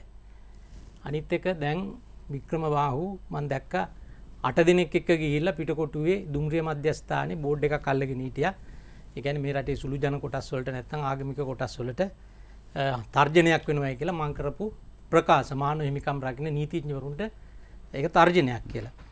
හැබැයි මේ රටේ අරන්තලාවේ භික්ෂුන් වහන්සේලා පෙතිපෙති ගහපු වෙලාවේ බාහු පෝස්ටරයක් අරගෙන දුම්රිය මධ්‍යස්ථානට ආවේ නැහැ. එතකොට දළදා මාලිගාවට බෝම්බ ගහලා පුපුරන වෙලාවේ බාහු බෝඩ් එක ඇල්ලුවේ නැහැ. ඊළඟට පෝය දවස්සේ සිල් ගත්ත බැතිමතුන් සිය ගණනක් මරලා දමද්දී ශ්‍රී මහා බෝධීන් වහන්සේ ළඟ බාහුගේ බෝඩ් එක නැහැ. කින්යාවේ පල්ලිවල කින්යාවේ නෙවෙයි මේ කාත්තංකුඩි පල්ලියේ. එකසිය ගණනක් මුස්ලිම් භක්තිකයන් තමන්ගේ ආගම යාඥා කර කර ඉන්න වෙලාවේ වෙඩි තියලා මරලා දාපු වෙලාවේ මේ බාහුගේ බෝඩ් එක නැහැ බාහුත් නැහැ. හැබැයි දැන් නීතිඥවරයෙක් මේ මානව හිමිකම් රකින්න නීතිඥවරයා. ඉතින් මේ නීතිඥවරයා මානව හිමිකම් රකින්න නීතිඥවරයෙක් නම් වැලිකඩ හිරගෙදර ඉන්න මිනිමරුන් වලට වර්ධකාර වෙච්ච මිනිමරුවොත් මානව හිමිකම් රකින්න මිනිස්සු බවට පත් වේවි. මොකද රට ගිනි තියෙන මේ වගේ මාධ්‍යවේදී මහත්මය අහද්දි රට ගිනි තියෙන බොරු කියන්න එපැයි කියලා වගකීම අරගෙන එහෙම කරන අයට තමයි මේගොල්ලෝ කියන්නේ මේ මානව හිමිකම් රකින්නවා කියලා. දැන් ඔය එකසි හැත්ත ගානක් අස්සං කරපු එක ඕක රටේ සංහිධාව ඇති වෙනවාද? ඕක රටේ සාමය ඇති වෙනවාද? ඔය ඔය ප්‍රකාශය දාලා තියෙන රට ගිනි තියන්නේ හැබැයි මං කරපු ප්‍රකාශය නිසා බාහුට බෝඩ් එක අල්ලන්න පුළුවන්කම ලැබුණු නිසා බාහුට පාඩුනේ නැහැ ඇයි බාහු අර මුස්ලිම් බැතිමතුන් බෞද්ධ බැතිමතුන් කපා පෙති ගහලා කපනකොට බෝඩ් අල්ලපු නැති බාහු ඇයි මේ ප්‍රකාශයට බෝඩ් එක ඇල්ලුවේ? දැන් මේ ප්‍රකාශයට ලෝකෙ හැමතැනම ගිහිල්ලා තියෙනවා. දැන් හෙට ඉඳලා ඩොලර් එනවා. වටිනාකමක් ලැබෙනවද වටිනාකම ලැබෙනවා. මන් දන්නවා මේ මගේ ප්‍රකාශ නිසා ඔය එන්ජියෝ කල්ලිවලට අඩු ගානේ මේ රටේ ඩොලර් ලක්ෂ 10ක්වත් හම්බෙනවා. බා යලි යලි යහපු ප්‍රශ්නේ නැවත මතුවෙනවා. මේ බාහු මේ පුරවැසි බලය මේ සාධාරණ සමාජය. කාගේ පිටිපස්සේද ඉන්නේ මොවුන්ගේ හයිය තියෙන්නේ නැත්තම් හයිය කියන කාරණාව පැත්තකට දාන්න මොවුන්ගේ මම පොඩ්ඩක් රංගන දැන් මේක තුනක් පෙන්වන්නේ මම තුනට උත්තර දීලා එකත් අවස්ථාව හොඳයි. එතකොට ඒක එකක්. අනිත් එක දැන් මගේ ලේකම් කෙනෙක් කියලා. මගේ ලේකම් ඔය මලිත් කියලා මිනිසෙක් මේ රස්සාවක් ඉල්ලගෙන ඇවිල්ලා මගේ කාර්යාලේ වැඩ කරලා මේ මිනිස්සට මම ලේකම්කමක් නේ බුද්ධ ශාසන අමාත්‍යාංශي සුළු තනතුරක් දුන්නා. නමුත් මොහු උපාධිධාරියෙක් කියලා ආවට පස්සේදී මට තොරතුරු දැනගන්න ලැබුණා. සාමාන්‍ය පෙළ සාතිකේ පවා වංචනික ලේඛනයක් කියලා. ඒකම JP ආයුධම් පත්‍ර ගෙනහිල්ලා තනින් තන අපරාධකාරීන්ට පවා විකුණලා තියෙනවා. ඒ අතරතුරේ මුව මත්පැන්නට යොමු කරගත්ත ඔය දේශපාලන කඳවුරක කෙනෙක් ගිහිල්ලා ගෙනහිල්ලා මම පස්සේදී මේ තොරතුරු දැනගත්තම මම නිරපුවා. ඊට පස්සේ ගෙනිහිල්ලා ඒ දේශපාලන කඳවුරේ ඒ පුජ්‍යලයාගේ ගෙදර තියාගෙන මේ ප්‍රකාශය කරලා තියෙනවා. මම කියන්නේ නැහැ ඒක අසට් සාලි මහත්තයා කිරුවයි කියලා. හැබැයි අසට් සාලි මහත්තයට පොඩ්ඩක් මොලයක් තියෙනට උන තේරුම් ගන්න මෙහි පුජ්‍යලයා කියන ප්‍රකාශය ඇතුළත මෙහෙම දා වෙන්න පුළුවන්ද කියලා. මේ අමාත්‍යංශය වැඩ කරපු මේ සුළු නිල- නි- මේ ද- නිලයක් දරන මම දීපුවේ తాවකාලික පත්තිම දරන මිනිහා කොහොමද මගේ ටෙලිෆෝන් එක පාවිච්චි කරන්නේ? මගේ දුරකථනයක් මම දෙනවද එහෙම මිනිහෙකුට? මම සමහරලාට විවේක නැති වෙලාවට මගේ පුද්ගලික ලේකම් හෝ සම්බන්ධීකරණ ලේකම් ඉන්න එහෙම නැත්නම් මගේ ප්‍රධාන ආරක්ෂක නිලධාරීන් ඉන්නවා. ඒ අරින්න මම මේ පාර යන මිනිස්සුන්ට ටෙලිෆෝන් දෙනවද? අනිත් එක යා උපාධි නීති උපාධිධාරියෙක් කියලා කියනවා. සාමාන්‍ය පෙළවත් සමත් නැහැ. ඉතින් ඒක නිසා මේ ඔය ඥානසාර ස්වාමීන් වහන්සේ මම හංගගෙන ඉන්නවයි කියන එකේදී මම මහනවා ප්‍රශ්නයක්. දැන් පහුගිය අවුරුදු දෙක ඇතුළත ඥානසාර හිමි සම්බන්ධ වෙලා සම්බන්ධ කරගෙන පැමිණිලි තියෙනවනේ පත් වැඩි වුණොත් හතක් අටක් තියෙනවා. එතකොට ওই පැමිණිලි ටිකට මම මට බලය තියෙනවා මේ අධිකරණ ඇමතිවරයා විදිහට බලය පාවිච්චි කළ ස්වාමීන් වහන්සේ හංගගෙන ඉන්න. හැබැයි උන්වහන්සේට විරුද්ධ බල බරපතල චෝදනා තිබුණේ 2014 දක්වා කාලේ 2010 ඉඳලා. එදා දර්ගනගරය අලුත්ගම ගිනිගන්නකොට උන්වහන්සේ සම්බන්ධව සහ මුස්ලිම් ජනතාවගේ දේවස්ථාන සම්බන්ධ විශාල ගැටලු තියෙන කාලේ අපේ රටේ අධිකරණ ඇමතිතුමා මගේ පූර්වගාමි සහෝදර ඇමතිතුමා රව් ෆකින් ඇමතිතුමා. එතකොට ඒ කාලේ උන්වහන්සේ අතඩංගොට ගන්නෙත් නැහැ නඩුවක් දැම්මෙත් නැහැ. හැබැයි අපේ කාලේ පැමිණිලි වෙච්ච හැම එකටම විරුද්ධව නඩු දාලා තියෙනවා උන්වහන්සේ ඉදිරිපත් වෙලා තියෙනවා ඇප දීලා තියෙනවා. එතකොට අර පහුගිය අවුරුදු පහේ ඒ කියන්නේ හකීම් ඇමතිතුමා දැන් ඒ උන්වහන්සේව හංගගෙන ඉන්නේ. අනිත් එක ඉතින් උන්වහන්සේ හංගගෙන ඉන්නව නම් මේ මම හංගන්න ඕන. අපේ රටේ පන්සල් 10500ක් තියෙනවා. ඕනම පන්සලකට ගියොත් උන්වහන්සේ මං හිතන්නේ මේ එළියට යන්නේ කියලා කියයි කියලා. අනිත් එක දැන් අපිද ගිහින් පොලිසියට මේ උසාවියට බාර දුන්නේ. අනිත් එක සුදේව මම ගිය මාසේ 26 වෙනිදා ඉතාලියට ගිහිල්ලා මම 14 වෙනිදා මේ මාසේ එනකන් මේ බෙල්ජියම් වල ඉඳලා මේ ලංකාවේ නැති කාල සීමාවේ තමයි ඔය මම අර නිර්පල දාපු මේ මේ ළමෙක් අල්ලගෙන ඔය මත්පැන් ටිකක් දීලා මේකට යොමු කරගෙන වගේ ප්‍රකාශයක් කරලා තියෙනවා. ඉතින් මේකක එල්ලෙන්න තරම් අසත්සාලි පල්ලහැට ඇවිල්ලා තියෙනවා. ඒක නෑ ඒක ගැන පුදුම වෙන්න එපා. අමුත්තමනේ මොහොතක් දෙන්න. දැන් මේවා නිකම්ම සිද්ධ වෙන්නේ නෑනේ. ඔව්. මේවා පිටුපස්ස යම් යම් හස්තයන් තියෙන්නට පුළුවන්. ඔබට හිතෙන්නේ නැද්ද දැන් ඔබ ඔබ ඔබ මතවාදය. ඒ මතවාදයට මෙවැනි පහර ගැසීම් එක එනකොට ඒවා වෙන තැනකින් ක්‍රියාත්මක වෙනවා කියලා. ඔව් ඒක හේතු දෙකක් තියෙනවා. එක පැත්තකින් වෙන පැත්තකින් ඒ වතවාදයට පහර ගැනීම සඳහා කුමන්ත්‍රණ සංවිධායක ක- කරන උදවිය ඉන්නවා. දෙවනි කාරණය මේ අසට් සාලි ගැන කියන්නට ඕන මට පැහැදිලිව ඒ චෝදනාව කරපු නිසා. දැන් අසට් සාලි ගැන කවුද? දැන් මේ රටේ ඒ පැත්තටත් ගියා මේ පැත්තටත් ගියා එහෙන් මෙහෙට විසුණා මෙහෙන් ඒට නිසා දැන් ඥානෙන්න තැනක් නැතුව ඉන්න මිනිස්සු ලෝකයක ස්වභාවය. දැන් හැම පැත්තෙම ගිහිල්ලා විසි වෙලා ඉන්නකොට ආම් නැවතත් ආපහු තමන් කෙනෙක් කියලා පෙන්වන්න උත්සාහ කරන මිනිස්සු අතට ගන්න දෙයක් තමයි ජාතිවාදය. එහෙම නැත්නම් ආගම්වාදය. ඒකනේ මහත්මා ගාන්ධි තුමත් කිව්වේ ලෝකේ ඉන්න තක්කඩිම දේශපාලඥයෝ තමන්ට පාවිච්චි කරන්න පුළුවන් සියල්ලම පාවිච්චි කරලා ඉවරුණාට පස්සේ අවසානයේ පාවිච්චි කරන දේ විකුණන දේ තමයි ජාතිවාදය. දැන් ඒක ආගම්වාදී කියලා අපිට කියන්න පුළුවන්. ඉතින් ඒ தത്വෙටපත් වෙලා තියෙනවා. ඉතින් මම දන්නවා මුස්ලිම් ජනතාව හුඟක් නොමග ගියා මම පිළිබඳව තිබුණු හැඟීම. උන් මගේ අපේ මුස්ලිම් ජනතාව අතර පහතට ඇද්ද දැමීම උමනාව අසත්සාලිට තිබුණා. අනිත් එක ඥානසාර ස්වාමීන්ද්‍රයන් වහන්සේත් එක්ක මං ගැන සැක හිතන්න යම් කාරණාවක් තියෙනවනේ අපි ඒකත් කෙලිම කතා කරමුකෝ. මම පාර්ලිමේන්තුවේදී කතා කරලා කිව්වා මේ රටේ ISIS සංවිධානයට සම්බන්ධච්චය තිස් දෙකක් ඉන්නවයි කියලා. එතකොට අර ඔබ කලින් කිව්ව වගේම අපේම වෙන්න පුළුවන් අනිත් ගොඩ අල්ලන්න පුළුවන් නෑ නෑ මේ බොරු කියන්නේ කියලා කිව්වා. ඒකම අපේ අගමැතිතුමා ඉන්දියාවේ මාධ්‍ය සාකච්ඡාවේදී 32යි කිව්වා හැබැයි අගමැතිතුමාගේ අපේ කවුරු බොරු කියන්නේ නෑනේ. තමන්ගේ දේශපාලන පැවැත්ම වෙනුවෙන් කතා කරන මිනිස්සු ඒක මම කිව්වම බොරු අගමැතිතුමාකම බොරු කියන්නේ. එතකොට මම මේ ප්‍රකාශය කරේ මුස්ලිම් ජනතාවට හිත්‍රිදාවන්නවත් පහර ගහන්නවත් නෙවෙයි. මේ රටේ අපිට පේන්නේ නැති මතු පිටින් නොපෙනෙන යටින් උඩුබුරාගෙන ආපු පුපුරන් ආසන්න තත්ත්වයක් මේ රටේ තිබුණා. ඒ පිපුරුවොත් රටේ සමස්ත ජනතාවට සමස්ත ජනතාවට බලපාන කාරණයක් තිබුණා. මොකද මේ වකවානුව තුළ මං කතා කරන වකවානුව තුළ මොකද අපි රටේ හැම සමස්ත සමාජ තුළම හැම මට්ටමම උදවිය අපි ආශ්‍රය කරන නිසා විශේෂයෙන්ම මහනායක ස්වාමීන්ද්‍රයන් වහන්සේලා අතිකරු කාදිනල් වහන්සේලා මේ සියලු දෙනාම අපි ආශ්‍රය කරන නිසා අපි මහජන මතේ රටේ තත්ත්වය දන්නවා. ඒ නිසා මේ සමාජයේ දිගින් දිගටම මේ වෙබ් අඩවි වලින් නොයිකුත් ආකාරයෙන් විශාල ප්‍රචාරයක් ගියා මේ රටේ අයිසිස් කණ්ඩායම් ඇවිල්ලා ඉන්නවා 5000කට වැඩි දැන් මෙතන මේ පෙළ ගැහිලා ඉන්නවා. කොයි වෙලාවෙ මේ පිපිරීමක් ඇති වෙන්න පුළුවන්ද දන්නේ නැහැ. සමහර අය ගොනේ ඒක 5000 නෙවෙයි 8000ක් ඉන්නවයි කියලා. ඉතින් ඇත්තටම දැන් මේ මතේ අපි බොරුයි කියලා කිව්වට මේ රටේ සමස්ත ජනතාව පිළිගත්තේ නැහැ. එතකොට තියෙන ප්‍රශ්න තමයි ඉතින් මේක ඇයි ඇයි හංගන්නේ? ඇයි මේක ගැන කිලින් ආණ්ඩුවක් කතා කරන්නේ නැත්තේ? ඒක නිසා තමයි මං කිව්වේ ජනතාව තුළ ඒ තියෙන 5000 8000 10000 බිය දුරු කරන්න මේක බය වෙන්න හේතුවක් නැහැ. 32 දෙනෙක් සම්බන්ධ වෙලා තියෙනවා. ඔව් පාර්ලිමේන්තුව තුල පාර්ලිමේන්තුව තුල කිව්වේ. උත්තරීතර පාර්ලිමේන්තුව තුල කිව්වේ. එතකොට ඒ කිව්වට කිව්වට පස්සේ ජනතාවට වැටහුණා වගකීම් වගකීම් පාර්ලිමේන්තු ඇමතිවරයෙක් කියපු නිසා මේ මේ පන්දස් දහදා මේ බොරු කතා මේ තිස් දෙක තිස් දෙ දෙනෙක්ගේ කාරණයක් මේ කියන්නේ. අනිත් එක එතකොට ජනතා විමුක්ති පෙරමුණ කැරලි ගහන කාලේ ඒ සිංහල කැරලිකාර තරුණයන්ට අපි කිව්වේ ත්‍රස්තවාදී කියලා. රටේ මිනිස්සු කිව්වේ ත්‍රස්තවාදී කියලා. ඒකට සිංහල ජනතාව තරහ වුණේ නැහැ. කොටි ත්‍රස්තවාදී උතුරේ දින කාලේ ඒ ද්‍රවිඩ උදවියට කිව්වේ අපි කොටි කියලා. ත්‍රස්තවාදී කියලා. අපි එහෙම කිව්වයි කියලා ද්‍රවිඩ ජනතාව අපිත් එක තරහ වුණේ නැහැ. ඉතින් ඒ නිසා මුස්ලිම් ජනතාවගේ 32ක් එහෙම තත්වාදී සංවිධානයකට සම්බන්ධය කියලා තොරතුරු තියෙන ඇගුවට සමස්ත මුස්ලිම් ජනතාවට තරහ වෙන කිසි හේතුවක් නැහැ මොකද අනිත් එක්කෙනෙක්වත් මේ ත්‍රස්තවාදී ගොඩට වැටෙන්නේ නැහැ. ඉතින් ඒක 32 නම් 32යි නෝකිය වෙන කොහොමද කියන්නේ? නමුත් ඒ తত্ত্বය මේ කටකතා මගින් මේ Facebook කරහා සමාජ වෙබ් අඩවි හරහා ඊට වඩා විශාල බරපතල తত্ত্বයක පෙන්눔 කිරීම තුළ මුළු සමාජය පුරාවට පුපුරලා යන්න තිබුණු කාල බෝම්බ නිෂ්ක්‍රිය කරන්න තමයි මම එදා ඒ ප්‍රකාශය කරේ. ඔබතුමා මාධ්‍ය සාකච්ඡාවකට ජනතාව කරේ තියෙන අහිතකර තත්ත්වයන් නිසා නෙවෙයි.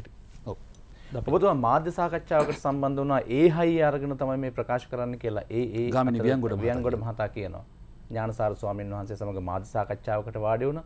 ඒකෙන් පස්සේ තමයි ඒ හයිය අරගෙන තමයි මේ ප්‍රකාශය කරන්න කියලා. දැන් ඔබතුමා කිව්වා වගකීමක් තියෙන කෙනෙක් පාර්ලිමේන්තුවේ ප්‍රකාශයක් කරාම ජනතාව තුළ පුපුරා යන්න පුළුවන් කමක් තිබුණු කාරණාවක් මැඩ පැවැත්වුණා ජනතාව විශ්වාස කරා කියලා. දැන් මාධ්‍ය සාකච්ඡාවක් වගේ දෙයකට වාඩි වුණා තවදුරටත් විශ්වාස කරන්න පුළුවන් නේද? එතකොට මේ ප්‍රකාශයේ යම් සත්‍යතාවයක් තියෙනව නේද? මම කියන්නම් ඒ කාරණේ මම එදා පාර්ලිමේන්තුවේදී මේ මේ ටිකක් විප්ලවකාරී විදියට භික්ෂුන් වහන්සේලාගේ හැසිරීම් කාරණය පිළිබඳවත් විවේචනාත්මකව කතා කරා. කතා කරපුවම මට විරුද්ධ බෞද්ධ භික්ෂුන් වහන්සේලාත් ওই විදිහටම අවලාද කරා. මම ඊට පස්සේ අපේ මේ පූජ්‍ය ගලබඩ ඇත්තේ ඥානසාර ස්වාමීන් වහන්සේට මම කිව්වා මේ නෑ ඥානසාර ස්වාමීන් වහන්සේ පුවත්පත් සාකච්ඡාවක් තියලා මට සෑහෙන දොස් කිව්වා. පහුවෙන්දම. ඊට පස්සේ මං උන්වහන්සේට දුරකථනයෙන් කතා කරලා මං අහුව ඔබ වහන්සේ මට අද සෑහෙන බැනලා තියෙන මමත් අහගෙන හිටියා. කමක් නැහැ ආමුදුරනේ. ඔබ වහන්සේට මොකද්ද තියෙන ප්‍රශ්නේ? මං දන්නවා රටේ ප්‍රශ්න තියෙනවායි කියලා. ඊට පස්සේ මං කිව්වා මම කැමතියි ඔබ වහන්සේ මුණ මුණ මේ බැහැ දැකලා මේ ප්‍රශ්න ගැන සාකච්ඡා කරන්න. ඉතින් මට ඕනනම් උන්වහන්සේගේ පන්සලට යන්නත් තිබුණා. එහෙම නැත්නම් උන්වහන්සේ සමහරලාට ආරාධනා කරන මගේ නිවසට වඩින්න ඉඩ තිබුණා. හැබැයි මම එහෙම කරේ නැහැ. එහෙම කරේ නැත්නම් මම මේ චෝදනා එල්ල වෙන්න පුළුවන් චෝදනා දන්න නිසා. මං උන්වහන්සේට වඩින්න කිව්වා මේ පාර්ලිමේන්තුවට. උන්වහන්සේට කැමති කෙනෙක් සම්බන්ධ කරගෙන ඒ උදවියත් එක්ක මං කව අද කවද්ද මං කව දැන් අද මං දැනට පාර්ලිමේන්තුවේ නැත දවසෙම ඉන්න ඔබ වහන්සේට පාස් වෙලාවක වඩින්න කියලා. ඉතින් උන්වහන්සේ තව කීප නමක් එක්ක සහ තව ගිහි පිරිසක් එක්ක පාර්ලිමේන්තුවට වැඩම කරලා අපේ කමිටු රූම් එක කාමරයක අපි පැය දෙකක් විතර සාකච්ඡා කරලා ඉතින් මං උන්වහන්සේට අපේ අදහස කිව්වා මං කිව්වා ජාතිකත්ව ආගමිකත්වය තියෙන්නට ඕන. අනිත් අයගේවට අපි කරු කරන ඕනි කියන තත්ත්වය උන්වහන්සේ පිළිගත්තා. මං අපේ හාමුදුරනේ ප්‍රශ්නයක් තියෙනවා නම් අපි සාකච්ඡා කරමු. මුස්ලිම් ආගමික නායකතුමන්ලා ඉන්නවා. කතෝලික ආගමික නායකතුමන්ලා ඉන්නවා. අනිත් ආගම්වල හින්දු ඉන්නවා. ඒ අනුව අපි සාකච්ඡා කරමු කියලා. ඊට පස්සේ උන්වහන්සේ එලියට බොහොම හොඳයි. ඇමතිතුමා අපිට ඇහුම්කන් දීපු ගැන අපේ ප්‍රශ්න තේරුම් ගත්ත එක ගැන ගරු කරනවා කියලා එලියට ඇවිල්ලා මමත් එක්ක මාධ්‍ය වඩුනේ නෑ. උන්වහන්සේ ප්‍රකාශයක් කරා මාධ්‍යයට. දැන් මේක දෝෂයක් විදිහට තමයි මේ NGO නඩේ දකින්නේ. ඉතින් මේගොල්ලන්ගේ බුද්ධිය කොහෙද මොලේ කොහෙද තියෙන්නේ කියලා බලන්න පුළුවන්නේ. දැන් ඊළඟට මම මඩ කලපුවේ ගියා. මේ මඩ කලපුවේ භික්ෂුන් වහන්සේ පිළිබඳව රටේ විශාල හොඳ ප්‍රති මේකක් නෙමෙයි තිබුණේ. මම ගිහිල්ලා උන්වහන්සේට කතා කරා. සමහරු ගෝ යන්නත් එපා කියලා. මං ගෝ නෑ ප්‍රශ්නයක් නෑ මම ගිහිල්ලා කතා කරා ස්වාමීන් වහන්සේ මොකද්ද තියෙන ප්‍රශ්නේ? ඉතින් ස්වාමීන් වහන්සේ කිව්වා මට තියෙන ප්‍රශ්නයක් ගැන නෙමෙයි මේ නැගිනහිර පළාතේ ඉන්න සිංහල ජනතාවට තියෙන ප්‍රශ්නේ තමයි මම මේ කෑ ගහලා කියන්නේ කියලා. මේක අහන්න කවුරු මොකෙක්වත් නෑ කියන. ඉතින් මං කොහොමද හැමතැන එකින් එක ප්‍රශ්න කියන්නේ කියලා ඇත්තටම ප්‍රශ්න තියෙනවා. එක පැත්තකින් ගත්තම මේ මුළු මඩ කලපු දිස්ත්‍රික්කයටම සිංහලෙන් කෙනෙක් නෑ පාර්ලිමේන්තු මන්ත්‍රී කෙනෙක් නෑ. සිංහල පළාත් සභා මන්ත්‍රී කෙනෙක් නෑ. සිංහල ප්‍රාදේශ සභා මන්ත්‍රී කෙනෙක් නෑ. සිංහල ප්‍රාදේශීය ලේකම් කාර්යාලයක් නෑ. සිංහල ග්‍රාම සේවක කෙනෙක් නෑ. එතකොට ප්‍රාදේශීය කාර්යාලයක සිංහල තේරෙන සිංහල කතා කරන්න පුළුවන් කවුරුවත් නිලධාරීන් නෑ. ඉතින් ගම්මාන පහය තියෙනවා එක දිගට මේ සිංහල මිනිස්සු ජීවත් වෙන. ඉතින් ඒ මිනිස්සුන්ට උපන්නයක් කියන්නේ උපතක් ලියාපදිංචි කරගන්න විදියක් නැහැ ගියපුවම එක්ක තේරෙන්නේ නැහැ තමාර ග්‍රාම නිලධාරී රෞද්‍ර විදියට මේ ඒගොල්ලන්ට මේ සලකන්නේ නැතුව එලෝ ගන්නවා. විවාහයක් ලියාපදිංචි කරගන්න බෑ. ඉතින් මේ වගේ ලොකු ප්‍රශ්න තියෙනවා. ඉතින් ඒක නිසා අපි එදා ඒ ද්‍රවිඩ දිසාපති මහත්මයක් හිටිය තව දේශපාලඥ කීප දෙනෙකුත් මං කලින් දැනුම් දීලා හිටියා. ඉතින් ගිහිලා සාකච්ඡා කරපුවාම ඒ උදවිය අපිට සෑහෙන ප්‍රමාණයකට ඒ උදවියගේ ප්‍රශ්න විසඳන්න ක්‍රමවේද හදන්න එකඟ වුණා. එතකොට උන්වහන්සේගේ පන්සලට කරදරයක් නැතුව දැන් සියලු දෙනා මේ උදව් කරනවා. ඉතින් ඒ තත්ත්වයේ ඒ පුපුරලා යන්න තිබුණ දේවල් අපි නිෂ්ක්‍රිය කරන්න ගියා. ඉතින් එහෙම දැන් ඥානසාර හාමුදුරුවෝ ඕන දෙයක් කරපුවාවේ මඩකලපු හාමුදුරුවෝ ඕන දෙයක් කරපුවාවේ කියලා නිහඬව හිටියා නම් විජේදාස රාජපක්ෂ හොඳයිනේ. හරි සාන්ත දාන්ත ඇමතිවරේ. දැන් මම එතනින් අතර වුණේ නැහැ. එතකොට මුස්ලිම් ආගමික නායකතුමාලා එක්ක කතා කරා. කතා කරලා මම පැහැදිලි කරුවා මම මේක කිව්වේ මෙන්න මේ තත්වයක් ඇති කියලා. ඉතින් ඒ සියලු දෙනා මට ස්තුති කරා. ඊට පස්සේ සියලුම ආගමික නායකයන් එකතු කරලා ජනාධිපතිතුමා එක්ක රැස්වීමක් තියලා මේ ප්‍රශ්න සාකච්ඡා කරා. ඊට පස්සේ මේ පුරාවිද්‍යා වස්තු විනාශය කිරීම පිළිබඳ හාමුදුරුවෝ නිරන්තරයෙන් හඬ නරක නිසා පුරාවිද්‍යා දෙපාර්තමේන්තුව ගෙන්නලා ඒවට අපි වැඩ පිළිවෙලක් යෙදුවා. ඔය මට මතක විදිහට නම කළුවන්චි කුඩු වෙන්නේ නැති ඒ බඩ කලපු ගිය වෙලාවේ ඒ ඒ වගේ තැනක මම දැක්කා සිද්ධාස්ථාන බුල්ඩෝසර් කරන්න කරලා තිබුණ කොටසක්. ඉතින් අපි ඒව නවත්තලා පොලිසියට සිවිල් ආරක්ෂා හමුදාට බාර දීලා ඒ තැන් ආරක්ෂා කරන්න අපි වැඩපිළිවෙලක් ක්‍රියාත්මක වුණා. ඉතින් දැන් මේ වැඩපිළිවෙල අපි බලන්නේ හැමතිස්සෙම මේ කාගේවත් හිත රිදෙන්න නැති වෙන්න එහෙම ආගමික ජාතික වශයෙන් පුංචි කොට සුළු කොට තැකුවයි කියලා නොහැගෙන විදියට සමානත්මතාව ආරක්ෂා කරගන්න කරන වැඩ පිළිවෙලා. මං අහනෝ එන්ජියෝ නඩේ මොනවද මේ රටේ ජාතික සමගී ආරක්ෂා කරන්න කරලා තියෙන. ඔය පුවත්පත් දැන්වීම වල කිරීම වගේ දුෂ්ට වැඩක්ම ප්‍රමාණවත් නැත්ද මේගොල්ලෝ ජාති ද්‍රෝහින් කියලා කියන්නේ. මං මගේ අර ප්‍රශ්නේ දැන් අහන්න. අහන්න. මේ මේ දෙදස් පහලවේ ජනවාරයට මේගොල්ල කොතනද හිටියේ? මං අහන්න ඒකයි. හිටපු තැන වැඩක් නැහැ රංගන. දැන් ඉන්නෙත් කොතනද? ඔබතුමා මෙහෙම උත්තර දෙයි. හෙට ඉන්නෙත් කොතනද? ඒගොල්ලන්ට කැමති තැනනේ. මට කැමති ඔබටයි මටයි කැමති තැන නෙමෙයි ඒගොල්ලෝ ඉන්නේ. කොතන ඒගොල්ලන්ට කැමති තැන ඒගොල්ලන්ට වාසි තැන. කොතනද වාසි තියෙන්නේ ඒගොල්ලන්ට? ඔය ඉතින් දැනට ආණ්ඩුවත් එක්කද? ආණ්ඩුවේ ප්‍රශ්නයක් නෙවෙයි මේක. ඉතින් මේ ආණ්ඩුවත් එක්ක මේමයි. ඉතින් ඒගොල්ලෝ බලනවා මේ අපි ගෙනාපු ආණ්ඩුව කියලා මේ ඡන්දෙදි අපිත් එක්ක හිටගත්ත එක ඇත්ත සමහරුද විය. අපි ආණ්ඩුව ගෙනාවයි කියලා ඒගොල්ලන්ට ඕන දේ මේ මේ NGO එකට රට පාලනය කරන්න බලයක් ලබා ගන්න උත්සාහයක් තියෙනවා. ඉතින් එහෙම එහෙම බලය දෙන ආණ්ඩු මේ රටේ බිහි වෙලත් නැහැ ඉදිරියේදී බිහි වෙන්නෙත් නැහැ. ඒ ගැන බයෙන් එපා. හොඳයි අපි එහෙම වෙන්න ඉඩ තියන්නෙත් නැහැ. අපිට විරාමයකට අවස්ථාව අවශ්‍යයි. දමිකට ප්‍රශ්න තියෙනවා වගේ පේනවා. දමික දැන් ප්‍රශ්නෙට දෙන්න බෑ මට විරාමයට යන්න සිද්ධ වෙනවා. අපි විරාමයට ගිහිල්ලා යලි මුණ ගැහෙනවා. දමික ප්‍රශ්නට උත්තරේ කලින් ලැබුණා. සලකුණ සීමාවෙන් එහා දේශපාලනය. හොඳයි අපි සූදානම් වෙන්නේ නැවතත් සලකුණ දේශපාලන සංවාදයෙන් සාකච්ඡාව ආරම්භ කරන්නට. ආචාර්ය අමාත්‍ය විජේදාස රාජපක්ෂ මහතා යපත් සමග සම්බන්ධ වන්නේ. එමෙතුමනි හකි අමාත්‍යවරයාගේ ප්‍රකාශයකුත් මේ ආකාරයෙන්ම නිකුත් වුණා අපි මේ ප්‍රකාශ සාකච්ඡා කරපු නිසා අපි එතනට ගිහිල්ලෙමු. අපි ප්‍රකාශය බලමු. සලකුණ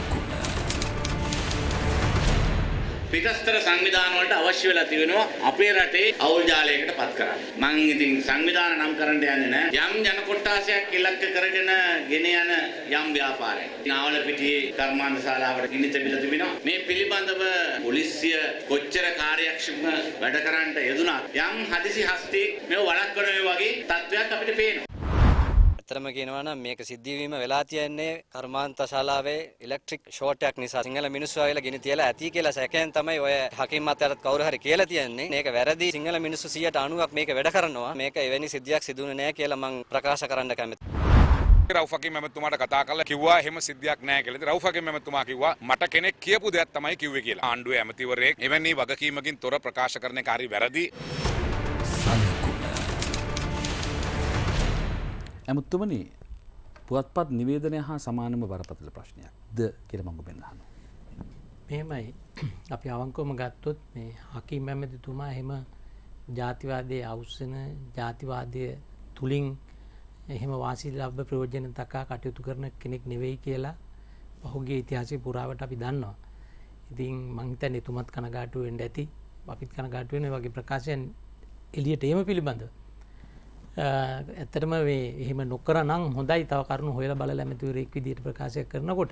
නමුත් එතුමා සමහරලාට විශ්වාසවන්ත කෙනෙක් කියලා හිතපු කෙනෙක්ගෙන් ලැබිච්ච දෙයක් තමයි ඒතුම ගෙලති එතුමට තික වෙච්ච අත්තරැද්දක් නමුත් ඒවගේ දෙයක් වුණත් සමහරලාට මාධ්‍ය පලවෙනකොට එන ප්‍රතිඵල භයනක වෙන්නට පුළුවන්. ඉති එවැනි ප්‍රකාශ නොකරන ධර්මට තමයි හොඳ. එම දෙයක් කරන එවැනි ප්‍රකාශ මත තමයි නගරයක් ගිනිගත්තේ. අපිට අදකම් තිබෙන අලුගම දර්ගානගරේ එවැනි ප්‍රකාශ තුළ මතුනේ කියන කාරණ. එහිදිත් ඇතැම් රජේම පාර්ශවල රජේ හිටපු අමාත්‍යවරුන් පවා යම්යම් ප්‍රකාශනකුත් කර තුළ නැවතත් සිංහ ජාතිය මුස්ලිම් ජාති මේ දෙගොල්ලම නැවතනවත ප්‍රශ්නවලටාව. මේවා මේ දිගටම වෙනවා නමත්තුම. මේක සුදේවා අදයේ පටන් ගත්ත දෙයක් නෙවෙයි. මම ඔබට මුලින් කිව්ව මේ රටේ යන්නේ ජාතිවාදී ක්‍රමයකට හැඩගැහිච්ච දේශපාලනයක් කියලා.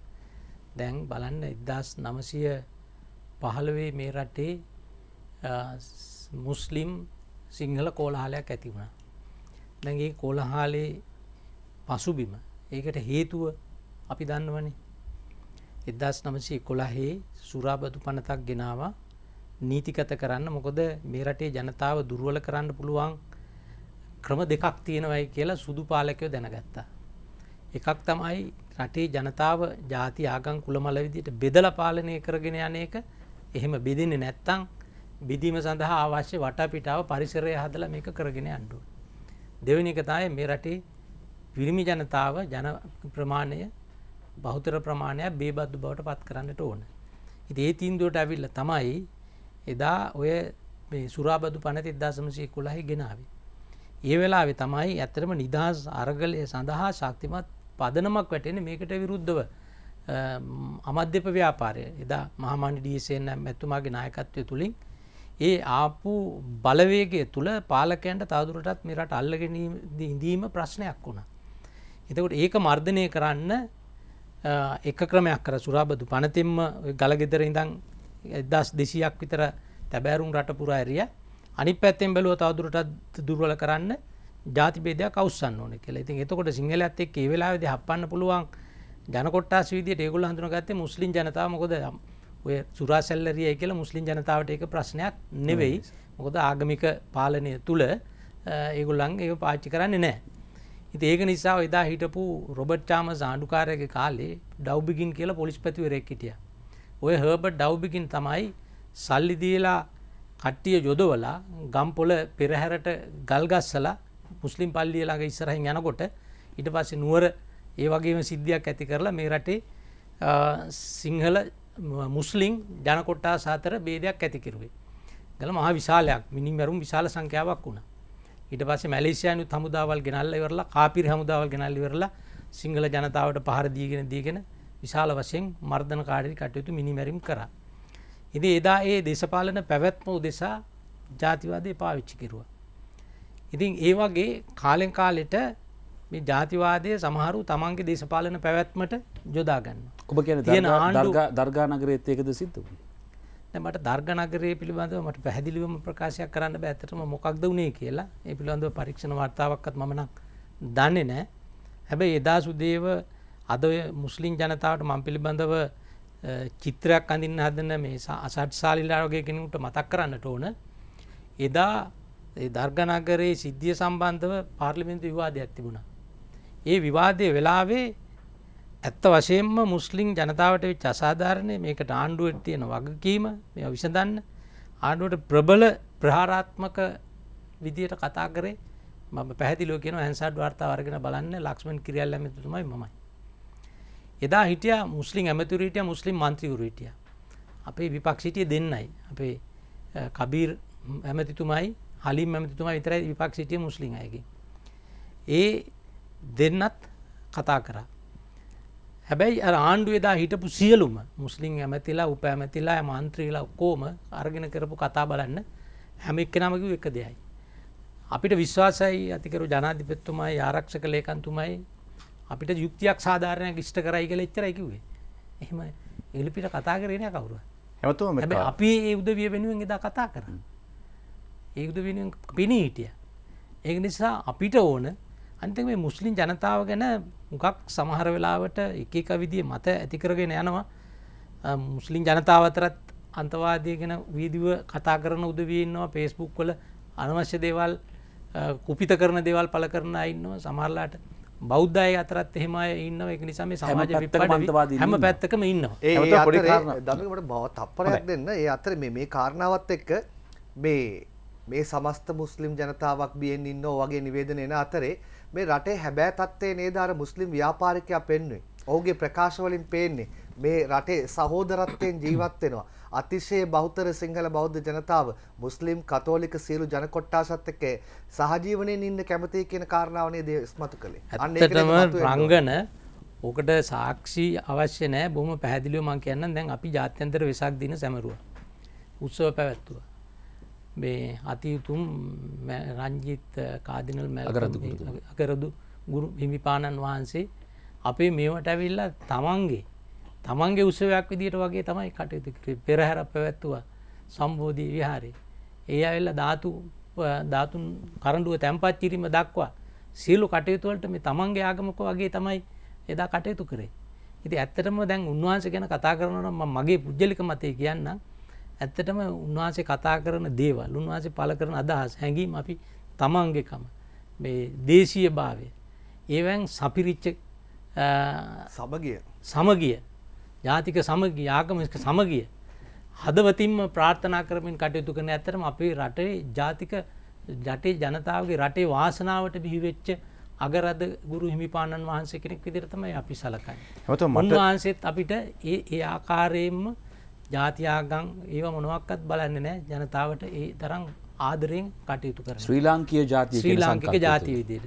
දැන් අනි පැත්තෙන් ගත්තම රංගන දැම් පහුගේ කටින පින්කමට මම ගිය සේරුවාවිල රජමහ විහාරයට. ඒ කටින පින්කම හිටපු ජනගානය කටයුතු කරපු අය. බලපොම හරියට තුනෙන් එකක් සිංහල තුනෙන් එකක් දමිල තුනෙන් එකක් මුස්ලිම්. මම දන්න විදිහට ඉෆ්තාර් උත්සව පන්සල්වල පන්සලට පැවැත්වලා පැවැත්තුවා. ඒද පැවැත්තුවා. ඇති ඒ පිළිබඳව අපේ අතිගරු අනුනායක හිමිපාණන් වහන්සේ බෙල්ලම්විල විමලරත්න හිමිපාණන් වහන්සේ අද ඒ පිළිබඳව. ඉතාම වටින දේශනයකුත් කරා මේ දෙහිවල පැවති පන්සලේ. ජාතික සමගිය මේ අපිට ඕන. අපිට වෙංවෙලා මේ රට යන්න බෑ. එයයි හැබෑ වෙන්වෙන් වුවමනාවකුත් නෑ. කාංගනමට විනාඩියක් දෙන්න වැදගත්මදේ මට කියන්න ඕන. ඇත්තටම මේ රටේ මිනිස්සු ජාතිවාදී නෑ ආගම්වාදී නෑ. තමන් ගැන නතාවට. ගරු කරනවා හැබැයි අපි ඒ වගේම ඒ උදවියත් අනු- අන්‍ය ආගමගොලටත් භාෂාවල්වලටත් ගරු කරනවා. ජනතාව හොඳයි. මේ රටේ ඉන්නවා බත් තැනින් තැන බීවෙන මොකද පැවැත්මක් නැති. එක කට්ටිය දේශපාලන පැවැත්මක් නෑ මේ ජාතිවාදයාගම්වාද නැත්තංක කට්ටියකට. තව කට්ටියක් ඉන්න එන්ජියෝ කණ්ඩායමක්. ඒගොල්ලන්ටත් පැවැත්මක් නෑ. මේ වගේ බේදයක් නැත්තම් මං ඔක උදාහරණයක් කියන්න මගෙන් දෙමළ මන්ත්‍රීවරේ ප්‍රශ්නයක් කානවා ඔබගේ මේ අහවල් හාමුදුරුව අහවල් හින්දු භක්තිකයක් ඉඩම ගිල බලහත්කාරෙන් මේ පන්සලක් හදාගෙන තියෙනවා. දැ මොකද මේකට නීතිය ක්‍රියාත්මක කරනවද නැද්ද? පාර්ලිමින්තුය දෙහපු ප්‍රශ්නය එතරම මොහල බැලුව. ඇත්තටම මන්දන්න හාමුදුරු දැනගෙන නැද ඇතරල පිට මද රජීටම කර මොක්කෝ කියල හිතාගෙන ආමුදුර පන්සල අදල තියෙන මගේ දෙමල මන්ත්‍රතුමත් එක මීට පෙර කතා කරලා තිබුන්නේ මගේ මන්ත්‍රතුමත් එකට වාඩිලා කතා කරලා මිත්‍ර සීඩියෝ මං ඇහු අපි මේක ඇත්තටම මේක පන්සලක්නේ කාගේ හරි මේ ආගමික තැනක්නේ හදල තියෙන්නේ. ඔබතුමාට බැරිදේ මහත්මයට කතා කරලා ඒ හින්දු භක්තික මහත්මයට කතා කරලා අහන්න මේක හාමුදුරුවන්ටම මේ පන්සලේ ඉන්න දීලා ඒ ඉඩමට සමාන ඉඩමක් අපි රජය ඉටමත් දෙනවනම් කැමතිද කියලා.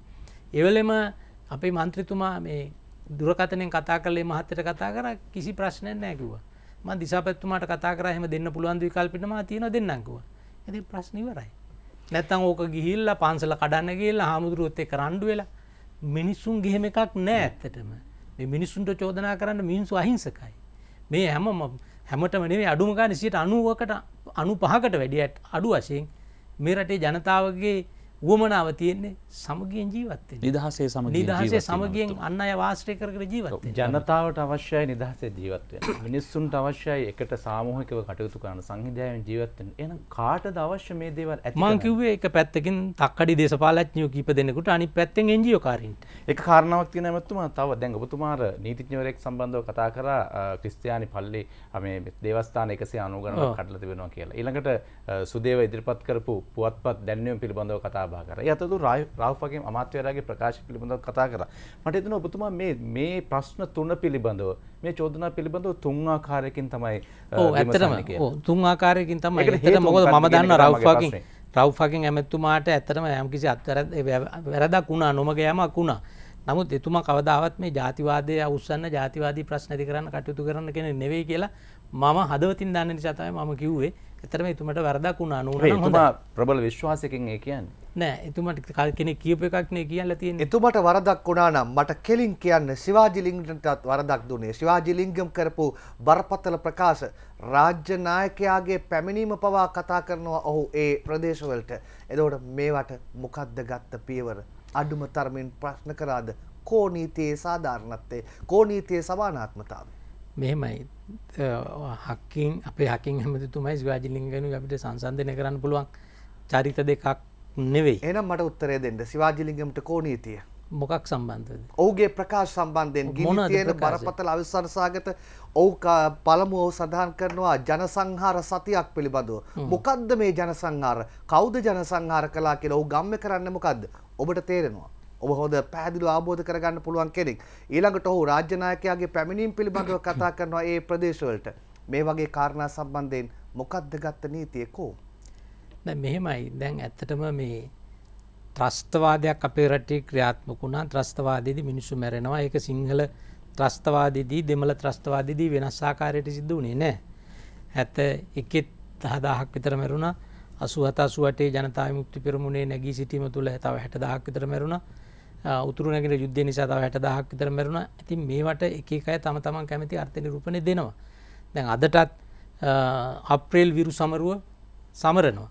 හැබැයි ඉතින් අපි ආණ්ඩුවේ නීතිය පැත්තෙන් බලපුවාම ඒගොල්ලෝ ත්‍රස්තවාදී. එතකොට එහෙමනම් අපිට ජනතා විමුක්ති පෙරමුණටත් කියන්න සිද්ධ වෙනවා. රණ එහෙම අප්‍රේල් විරුව නෑ. අප්‍රේල් හිටියේ දේශද්‍රෝහියෝ නැත්තම් ත්‍රස්තවාදී එහෙම සමරන්න දෙන්න බෑ කියලා. එහෙම එහෙම කියන්න වෙන එහෙම කියන්න බෑනේ. ඒක නිසා තමන්ගේ ඉතින් හිතවාදීන් පිළබඳ තම තමන්ගේ අර්ථ නිරූපණ දක්වමින් මිනිස්සු කතා කරනවා. ඒ ප්‍රකාශ තුළින් ගිනි ඇවිලෙන්න පුළුවන් නම් ඇවිස්සෙන්න්න පුළුවන් නම් ඔවු. කමක් නැද්ද නෑ. එහෙම එහෙම ගිනි ඇවිලෙන්න පුළුවන්නම් කමක් නෑ කියන්න බැහැ ගිනි ඇවිලෙන්ඩ උනත් ඔය වගේ ප්‍රකාශ වලින් ඉඩ නැහැයි කියලා මම කියන්නෙත් නෑ. නමුත් ඒක අපිට එහෙම තත්ත්වයට මේ රට තල්ලු වෙන්නේ තල්ලුනේ නැති නිසා. සහ තල්ලුවීමේ අවධානමක් නැති බව අපි දැනගෙනටිය මොකද සිවාජලිංගම් කියන්නේ එහි එහි අපේ රටේ ජාතික දේශපාලන තලයේ ඉන්න පිළිගත යුතු ලොකු චරිතයක් නෙවෙයි. ඔය කාලේ පාර්ලිමේන්තු විටිය දැන් ගිහලා පළාත් සභාවේ මං හිතන්නේ ඉන්නවා. ඉතින් ඒක නිසා මේ ගමේ ගොඩේ ග්‍රාමයේ මේ ප්‍රාදේශීය මට්ටමේ දේශපාලඥයෙක්ගේ මේ එකක් අල්ලගෙන රටක් මේ වගේ ප්‍රශ්නයක් ඇති කරන්න රටේ හැකියාවක් නෑ ඇමතුමා රුක්ෂයක් බිහිවෙන්නේ අංකුරයකින්. ඇත්ත ඇමතු ඔබතුමා දිගින් දිගටම කිව්ව මේ දේශපාලඥයන්ගේ ජාතිවාදය තමයි මතුවෙන්නේ දේශපාලන අරමුණු සාක්ෂාත් කර ගැනීම උදෙසා තමයි මේවා මේ විදිහට මතුවෙන්නේ කියලා. හැබැයි මැතිවරණ වේදිකාවේ විජේදාස රාජපක්ෂ තනියම කිව්වේ නෑ මට දෙන්න මං විශ්වාස කරන්නම් කියලා. මට මතකයි එකවරක ඔබතුමාගේ දේශපාලන සටන් පාඨය උනේ දූෂණයට එරෙහිව. මම හිතන්නේ මම නිවැරදි. හැබැයි දැන් මේ පොදුවේ දෙමළ මුස්ලිම් මේ කියන හැමෝම එකට එකතු වෙලා තමයි ප්‍රතිපත්ති ප්‍රකාශයක් නිකුත් කළ මැතිවරණයේදී ජනතාවගේ කැමැත්ත ඉල්ලගන්නේ. දැන් ඔබතුමා තනියෙන් කියනවා මේ ජාතිවාදයේ අවශ්‍ය ගන්න දේශපාලඥයෝ කරන සමහර කාරණා දේශපාලඥයන්ගේ පිටුපසින් එන්ජියෝ නඩ කියලා. එතකොට මේ මැතිවරණ ප්‍රකාශය ඔබ ප්‍රතික්ෂේප කරනවද? නෑ. එදා තිබුණු දේශපාලන තත්ත්වයක අද තියෙන දේශපාලන තත්ත්වය තමයි මේ ඔබතුමා පැහැදිලි කරේ. හොඳ ඇමතුමනි දෙකක්. මට අර මට මොහොතක් දෙන්න අර මම. සමාජය වෙනස් වෙනවා, විකාශය වෙනවා. මම කියපු කාරණයට මට මොහොතක් දෙන්න. අංකුර තමයි වෘක්ෂයක් බවට පත් වෙන්නේ. කියන එක. අංකුර අවස්ථාවේදී හඳුනා නොගත්තොත් වෘක්ෂය විනාශයක්. ඇමතුවනේ මොහොතක් සමාවෙලා මටත් දෙන්න සුදේවට යමක් එකතු කරන්න. වේලුපිල්ලේ ප්‍රභාකරන් ආරම්භය ගන්න අවස්ථාවන්හිදී අපේ ඒවක්කර හිටපු නායකයන් මේ කීප දෙනෙක් එකතු වෙලා රට අල්ලන්නද කියලා ඇහුවා කියලා ඉතිහාසය අපි කතත් අහලා තියෙනවා. උත්තරේ දෙන්න. එක නැමතුවන් ඔව්. නියපොත්තෙන් කඩන්න තියෙන දේ පොරවෙන් කපනකන්ද බලායින්න. ඇත්තටම එදා මේ ප්‍රභාකරන් කියන පුද්ගලයා පිළිබඳව තක්සේරුවක් එදා එත් පැවති ආණ්ඩුවට ගන්න පුළුවන්කමක් තිබුණේ නෑ ගත්තේ නෑ ඇත්තටම. ඒක තමයි මේ අපි කතා ඒක ඇත්ත. ඒක නිසා තමයි මේ තත්ත්වය බොහොම බරපතල තත්ත්වයට පත් වුණේ. ඒකට හේතු සාධක ඒකට මේ අමුද්‍රව්‍ය සපයපු තව කාරණාත් පස්සේ පස්සේ එකතු වුණා. දැන් මෙතෙන්දී අපි බොහොම පැහැදිලිව මම දන්නවා මට විස්තර කතා කරන්න මේ මේ අවස්ථාවේ බෑ. නමුත් ආරක්ෂක අංශ අපේ තියෙනවා බුද්ධි අංශ තියෙනවා. ඒ අය නිරන්තරයෙන්ම මේ පිළිබඳ අවදියෙන් ඉන්නේ. එහෙම අනුතුරුදායක තත්ත්වයක් කුමන හෝ තත්ත්වයක් සැකහිතන තත්ත්වයක් හරි තියෙනවා නම් ජනාධිපතිතුමාට අගමැතිතුමාට අනිවාර්යයෙන්ම දැනුම් දෙනවා. බොහෝ වෙලාවට අපිටත් ඒ පිළිබඳව එහෙම ප්‍රශ්නයක් තියෙන ඕන වෙලාවක අපි ගිනල්ලා ඒ පිළිබඳව අපිවත් කැඳවල සාකච්ඡා කරනවා. ඒ කියන්නේ දැනට සිවාජලිංගම්ලා ඕන දෙයක් කියපු දෙයක්. නෑ සිවාජලිංගම් ලෝන කීප දැන්න දැනට එහෙම අනාගතයට ජන ත්‍රස්තවාදයක් කර ඇති කරන්න ප්‍රියජනක තත්ත්වයක් නිර්මාණය කිරීමේ තත්ත්වයක් ඇති කිරීමේ ප්‍රවාරතාවරණයක් ගොඩනැගිල නෑ කියලා අපිට විශ්වාසයක් තියෙනවා. හොඳයි. තොරතුරුවන් හොඳයි. බොහොම ස්තුතියි අපිට තවත් විරාමයකට අවස්ථාව දෙන්න. කාලේ ඉක්මනින් යන විරාමයෙන් පසු ගැහෙන්න. සලකුණ සීමාවෙන් එහා දේශපාලනය අධිකරණ සහ බුද්ධ ශාසන අමාත්‍ය ආචාර්ය විජේදාස රාජපක්ෂ මහතා සමග ක්‍රියාත්මක වන සලකුණ දේශපාලන සංවාදය රටේ වර්තමාන තත්ත්වය පිළිබඳව අප සාකච්ඡා කරනවා. විශේෂයෙන්ම මතක් කළ යුතු කාරණය මේ සාකච්ඡාව තුළ කිසිදු ආගමික කණ්ඩායමකට කිසිදු ජාතික කණ්ඩායමකට හෝ කිසිම පිරිසකට පහර ගැසීමේ කාරණයක් නෙමෙයි මේ සිද්ධ වෙන්නේ විශේෂයෙන් මතක් කළ යුතුයි අප මේ කතා කරන්නේ ශ්‍රී ලාංකිකයන් හැටියට අප රටක් හැටියට යා යුත්තේ කොතැනද කියන තැන නිවැරදි කර ගැනීම. එය සඳහන් කරවිනුයි මේ තැනට එන්නේ.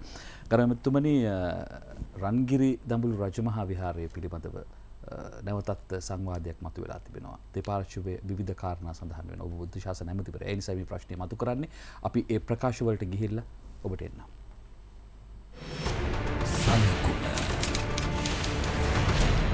මුළු රජ මහා විහාරය ලෝක උරුමයක් කියලා ප්‍රකාශ කරමින් අකිල විරාජ් කියන අමාත්‍යවරයා ඒ රජයට පවරාගත යුතුයි කියලා අගමැතිතුමාගේ ප්‍රධානත්වයෙන් සාකච්ඡාවක් පැවැත්වුවා කියලා ආරංචියක් ලැබුණා. රජයට මතක් කරන්නේ හංගිරි දමළු රජ මහා විහාරය ලෝක උරුමයක් වෙන්න කලින් බෞද්ධ උරුමයක් හැටියට ආරක්ෂා කරගත්ත දෙයක්. මේ රජය අස්ගිරි මහා විහාරයෙන් නිකුත් කරපු ප්‍රකාශය පදනම් කරගෙන දෝ කියලා මට හිතෙනවා. මම මේ අවස්ථාවේ දැනුම් දෙන්නේ විහාර දේවාලගම පනත යටතේ පාලනය වෙන මේ සංගිරි දමුරු රජමහා විහාරය සුන්වහදල වශයෙන් නිසියාකාරයෙන් කරගෙන යන්න අවශ්‍ය පසුබිම අපි සකස් කරගෙන තියෙනවා. අත්නෝමැතිකව හිතුවක්කාර තාලෙට මේ විහාරස්ථාන පරිපාලනය කරන්න එන්න එපා කියන එකත් මම එතුමාට කියනවා. දඹුලු ලෙන් විහාරයේ විහාරාධිපති ස්වාමීන් වහන්සේලාගේ අත්නෝමතික ක්‍රියා පරිපාටිය අපිට කිසිසේත් අනුමත කරන්න බෑ. දෙදස් නමේ සිට මේ දක්වා විදේශය සංචාරකයන්ගෙන් ටිකට් පත් නිකුත් කරනු ලබලා තියෙනවා. දෙදස් පහළ අවුරුද්ධටම පෙල්ලා තියෙන මිලියන තිස්සටයි. දල වශයෙන් දවසක ආදායම ලක්ෂ තිස්පහත් ලක්ෂ අසුවත් අතර අපි මේ සම්බන්ධයෙන් නීතිමය උපදෙස් ගන්න ලැබුවා නීතිපතිතුමා කිව්වා මේ සඳහා ටිකට් එකක් නිකුත් කිරීමේ බලය ප්‍රවිද්‍යා දෙපාර්තමේන්තුවටත් ඒවගේ මධ්‍ය සංස්කෘතික අරමුදටත් තියෙනවාගේ. මේවට නිලධාරණු සම්බන්ධයි. බිලියන ගානක ආදායම. සමහර අමාත්‍යාංශික වසරක අ, ප්‍රාග්ධන වියදම්වත් නැහැ මෙච්චර ප්‍රමාණය. මොන තත්ත්වයකටද හරි අපි කරන්න ඕන එක කරනවා. ඒ සාංගික දේපල රජයට පවරාගෙන කටයුතු කිරීමක් මෑත කාලයක් ද වෙලා නැහැ. ඒක බලපතල අපරාධයක් වරදක්. විහාරාධිපති හිබිනමකගේ කැමැත්ත නොමැතිව මේ කිසිදු විහාරස්ථානයක කටයුතු කිරීමට හැකියාවක් පුරාවිද්‍යා දෙපාර්තමේන්තුවට ඇත්තේ නැහැ. මේ භික්ෂූන් වහන්සේලා සමග හැප්පෙන්න යන්න එපා. ඒක තමන්ගේ වල කපා ගැනීම. ඇමතුමනි ජනතාව ප්‍රශ්න කරන්න ආණ්ඩුව එකින් එකට එකින් එකට ප්‍රශ්න දාගන්නවාද කියලා. දැන් මේ ප්‍රශ්නයට මේ පෙන්නපු කාරණයට අදාළවනේ දුබ ඔව්. ආන්නේ.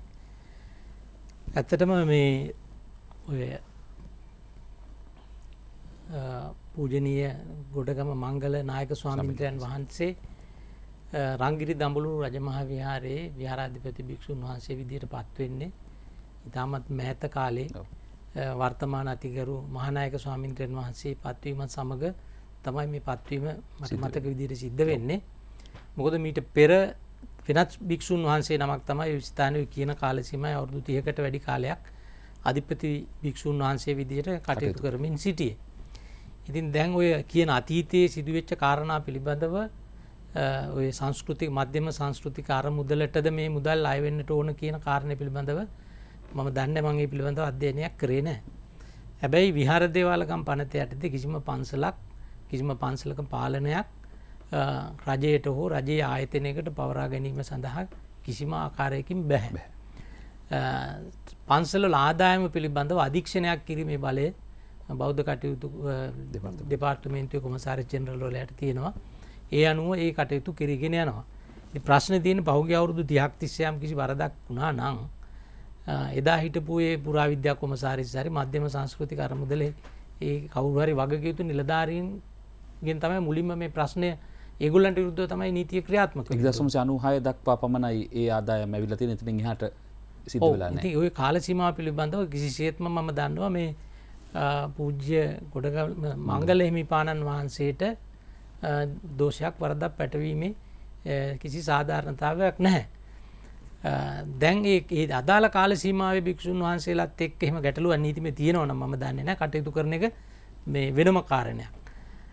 අනිත් එක දැන් ඔය තීරණය මොකක්දක අපි දන්නෙත් නෑ ඇත්තටම මේ එහෙම කැබිනට පත්‍රිකාවක් ඉදිරිපත් වෙනමයි කියලා කිව නමුත් අද වෙනතෙක් අපිට ලැබිච්ච කැබිනට් පත්‍රිකානුව රංගිරි දඹුලු රජමහා විහාරයේ පාලනය හෝ ආදායම පිළිබඳව කැසි කිසිම කැබිනට පත්‍රිකාවක් ලැබිල නෑ ඇමතුමට ඇතරම සුදිය තපරයක් දෙන්න මේ මේ වගේ ප්‍රශ්න තියෙන වෙලාවල් වලට අපි වඩාත්ම සුදුසු ක්‍රමේ තමයි අනුගමනය කරන්න ඕන ක්‍රමේ තමයි මේවා වේදිකාවල මාධ්‍ය හරහා රණ්ඩු කරන එකනවේ මොකද ඒකෙන් වෙන ආගමික සංහින්දියාවට වැඩිය තැන් තමන්ගේ මාගංවලට සිදුවන හානි පාඩු අපිට මේ නැවත ප්‍රතිසංස්කරණය කරගන්න බැරි තත්ත්වය දක්වා දිවෙනවා. ම ජනතාව ජනතාව නගන ප්‍රශ්න ඇතුළේ කතා කරගන්නද ඕන දේවල් ඇයි මේ එලියට ගන්න? විශේෂම රටේ ප්‍රශ්න එකින් එක පැනගෙන මොහොතක නැවතත් ප්‍රශ්නයක් දාගන්නවා කියන කාරණ. ඒවගේ මතුමන මට මොහොතක් දෙන දැන් කැබිනට පත්‍රිකාවක් ගැන පුතුම සඳහන් කරනවා. දැන් අපේ ස්වාමීන් වහන්සේ මුලින්ම මතු කරන්න තෙවැනි කාරණයක්.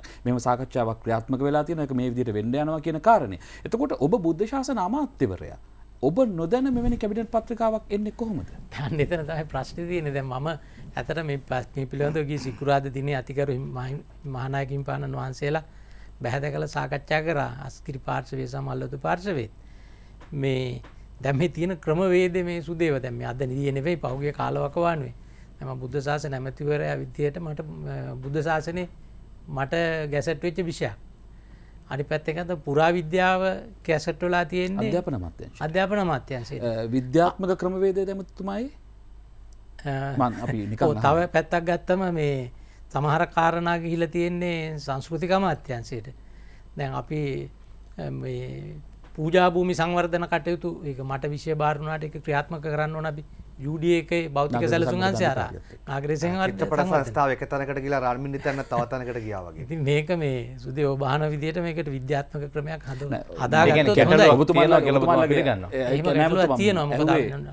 කිව්වෙහෙම යහපාලන ආණ්ඩු වෙනකොට අපි විද්‍යාත්මක පදන මත මේක බෙදන කරේ එය දැන් බොහෝදුරට ප්‍රශ්න කරනවා.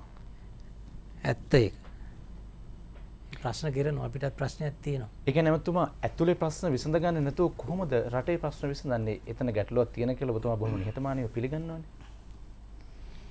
මෙහෙමයි අපිට හැම ප්‍රශ්නයක්ම ආණ්ඩුවක් විදියට පොදුවේ විසඳන ක්‍රමයක් නෙවෙයි තියෙන්නේ. මට බාර දීලා තියෙනවා විෂයන් දෙකක් අධිකරණ සහ බුද්ධ ශාසනය. ඉතින් මම මගේ වගකීමේ කොටස මම ඉෂ්ට කරනවා. ඒ අතරතුර ලංකාවේ නොවීවිරු ආණ්ඩු ක්‍රම මේ ආණ්ඩු සංයුතියක් නෑ ඇද තියෙන්නේ? පලනි වතාවට පක්ෂ දෙකක් ප්‍රධාන පක්ෂ දෙක එකට එකතු වෙලා එක පක්ෂකින් ජනාධිපති අනි පක්ෂෙන් අගමැති ක්‍රමයක් නයන්නේ ති මේ වගේ ක්‍රමවේදයකට යනකොට අතර මග ගැටලු බාධක ඇති වෙනවා. ඉතින් ඒ අමාත්‍යවරු තම තමන්ගේ අමාත්‍යන්සිටික හසුරෝගන්න වගේම ඔබ කියන විදියට ඒ වගේ මාර මේ අපේ කලෙක්ටව් එග්‍රිමන්ට් එක මේ ඒකාබද්ධ එකගතාවෙන්. අපේ මේ සාමූහික වගකීම.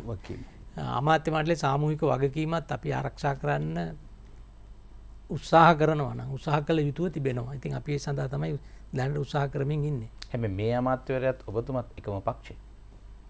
ඕ ඒක ඉතින් එතුමගේ මගේ ඇත ප්‍රශ්නයක් නෙවෙයි. මේ ක්‍රමවේදය තුල යම් ගැටලුවක් තියෙනවා. කරන්නේ මම- නැද්ද මේ මැදිහත් වුණා මේ පිළිබඳව ගා- ගරු අග්‍රාමාත්‍යතුමා ඇතිකරු ජනාධිපතිතුමා එක්ක සාකච්ඡා කරා. ආ, ඉදිරියේදී මේ දවස් දෙක තුනක් ඇතුළත නැවත වතාවක් සාකච්ඡා කරලා මේ ගැටලුවට විසඳුමක් හොයාගන්න මම කටයුතු කරනවා. හොඳයි අපි අවසාන විරාමය ලබාගම මධ්‍යම රාත්‍රියේ රැඳිලා තිබෙන අවසාන විරාමයෙන් පසුව අවසාන සාකච්ඡාවටදී මුණ ගැහෙනවා. සලකුණ සීමාවෙන් එහා දේශපාලනය අද සලකුණ සංවාදී අවසාන සාකච්ඡා වටයට ප්‍රවිෂ්ට වෙන්න ඇමුත්තුමා එකතැනක ඔබතුමා සඳහන් කරා සුද්ද අපේ රට බෙදන්න එක පැත්තකින් සුරාව පුරුදු කරා අනෙ පැත්තෙන් ආගමික මතවාදයන් ජාතිවාදී ජාතිවාදී කාරණා මේ ගට්ටනයක් ඇති කරා කියන කාරණය. මුදල් අමාත්‍යවරයා පාර්ලිමෙන්තුවේදී පසුගිදින එක ප්‍රකාශයක් සිද්ධ කරනවා. අපි ඒ ප්‍රකාශයට යමු. සලකුණ කිසිම රටක මත්පැන් පානය අවම කරන්නට බැරි බව අපි දන්නවා. නමුත් මත්පැන් පාමනය කරනවා නම් සෞඛ්‍යයට හානි නොවන ආකාරයට බියර් වයිනාදිය පානය කිරීම සඳහා අපි ජනතාවට ඒ ඒ බොන අයට යම් සහන ලබා දෙන්න ඕනේ. අපිට ලික ලයිසන් තියෙන සුපමාකත් ඔලාය කියනවා වැඩිපුරම අරක්කු විකිනෙන්නේ පොය දවසට ඉස්සෙල්ල දවසයි කිය. මොකද ගොඩක් අය පෝය දවසේ මේවා වහනවයි කියලා දැනගෙන ගිහිල්ලා ගෙදර ඒවා ස්ටොක් කරගන්න. ඒ පමණක් නෙමෙයි බාර් අයිතිකාරයෝ බාරකේ තියෙන අරක්කු ටික ගෙදර ගෙනහිල්ලා තියාගෙන ගේට්ටුවේ පැත්තක ඉඳන් ඒ අරක්කු බෝතලේ සාමාන්‍ය මිලටත් වඩා දෙගුණයකට වැඩි වෙන්න ඒ අරක්කු ටික විකුණ ගන්න. පෝය දවසේ බෞද්ධාගමේට ගරු කිරීමක් හැටියට මේ තහනම තිබුණයි කියන එකට අපි ප්‍රශ්නයක් නැහැ. නමුත් සමහර වෙලාවට මේ රටේ සංචාරකයන් වැඩිම ප්‍රමාණයක් ලංකාවට එන කාලේ නත්තල් දවසත් දැන් ඩ්‍රයිඩේ එකක් බවට පත් කරලටිය. ව්‍යාපාරය හැටියට සංචාරක කර්මාන්තය දියුණු කරන්නට නම් මේ වගේ යල් පැනපු නීතිරීති අපි යළි සිතා බලන්න ඕනේ. ඇමතුමනි අර සුද්දායිත් ඇවිල්ලා දෙමතුමනි අපිට එම් පේන්නේ නෑ එන පාටක් පේන්නේ නෑ යල් පැන්න පුනීතිරීති වෙනස් කරන්න ඕන කියලා කියනවා ඔබතුමා සම්බන්ධ ඇමතිවරය. ඕ මුද අපේ මුදල්ලමැත්තුමා එතුමා මේ යම් කිසි අදහසක් තමයකින් ප්‍රකාශ කරේ.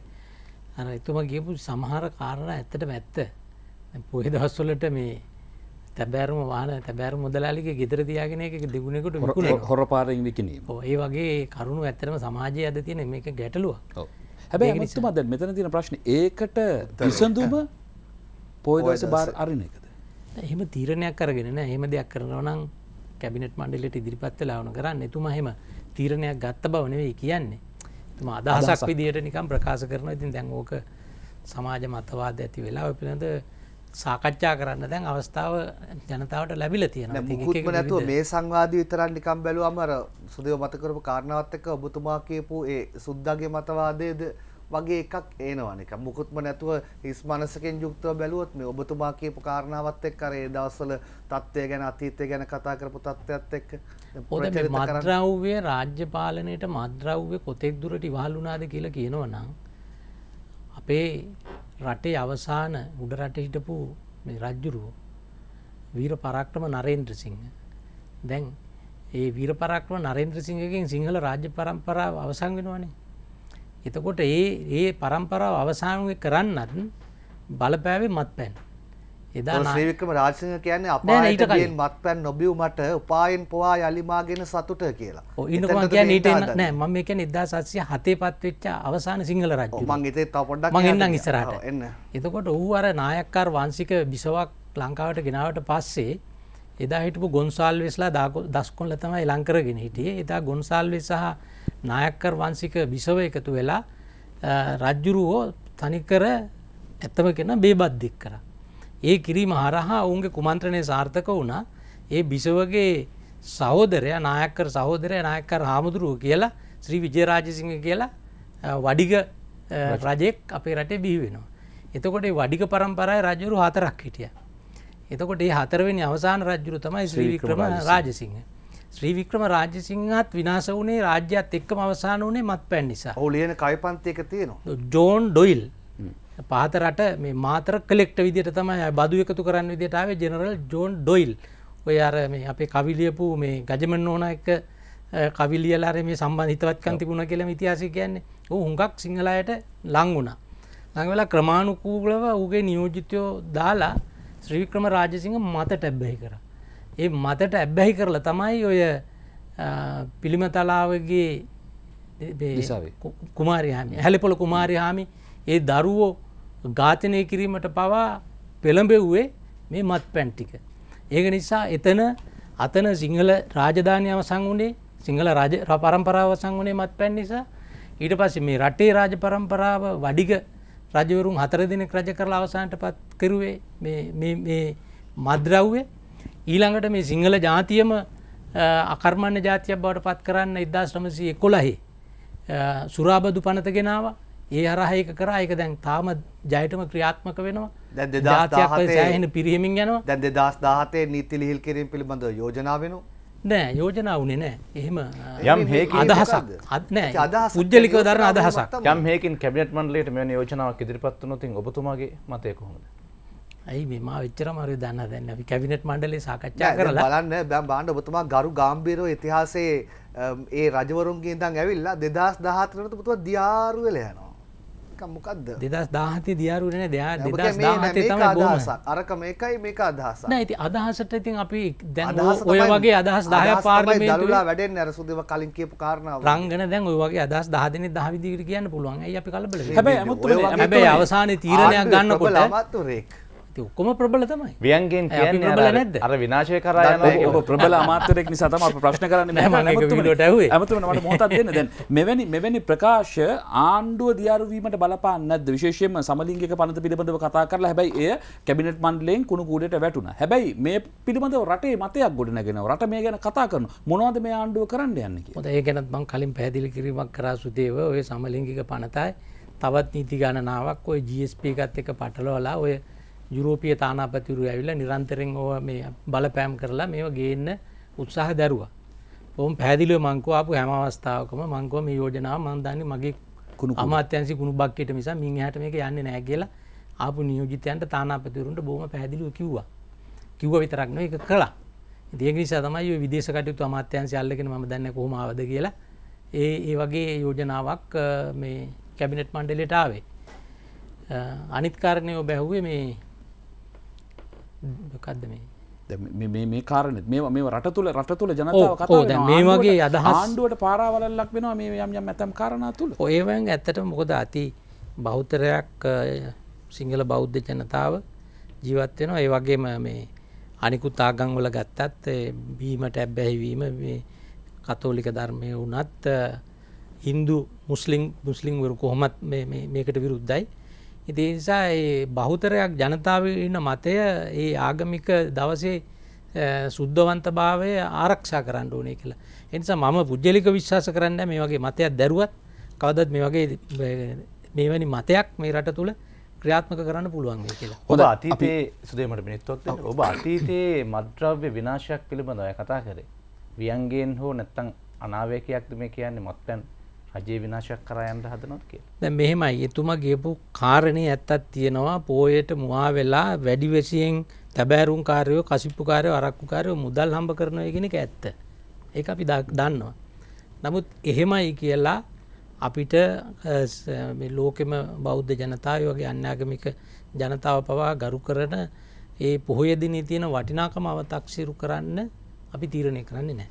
හොඳයි. අපි අමුතුමනි අවසාන කාරණයට යනවා වර්තමානයේ බොහෝ දෙන කතා කරන සයිටම් වෙත සයිටප් ගැන කිව් ප්‍රකාශ කීපයක් බලමු.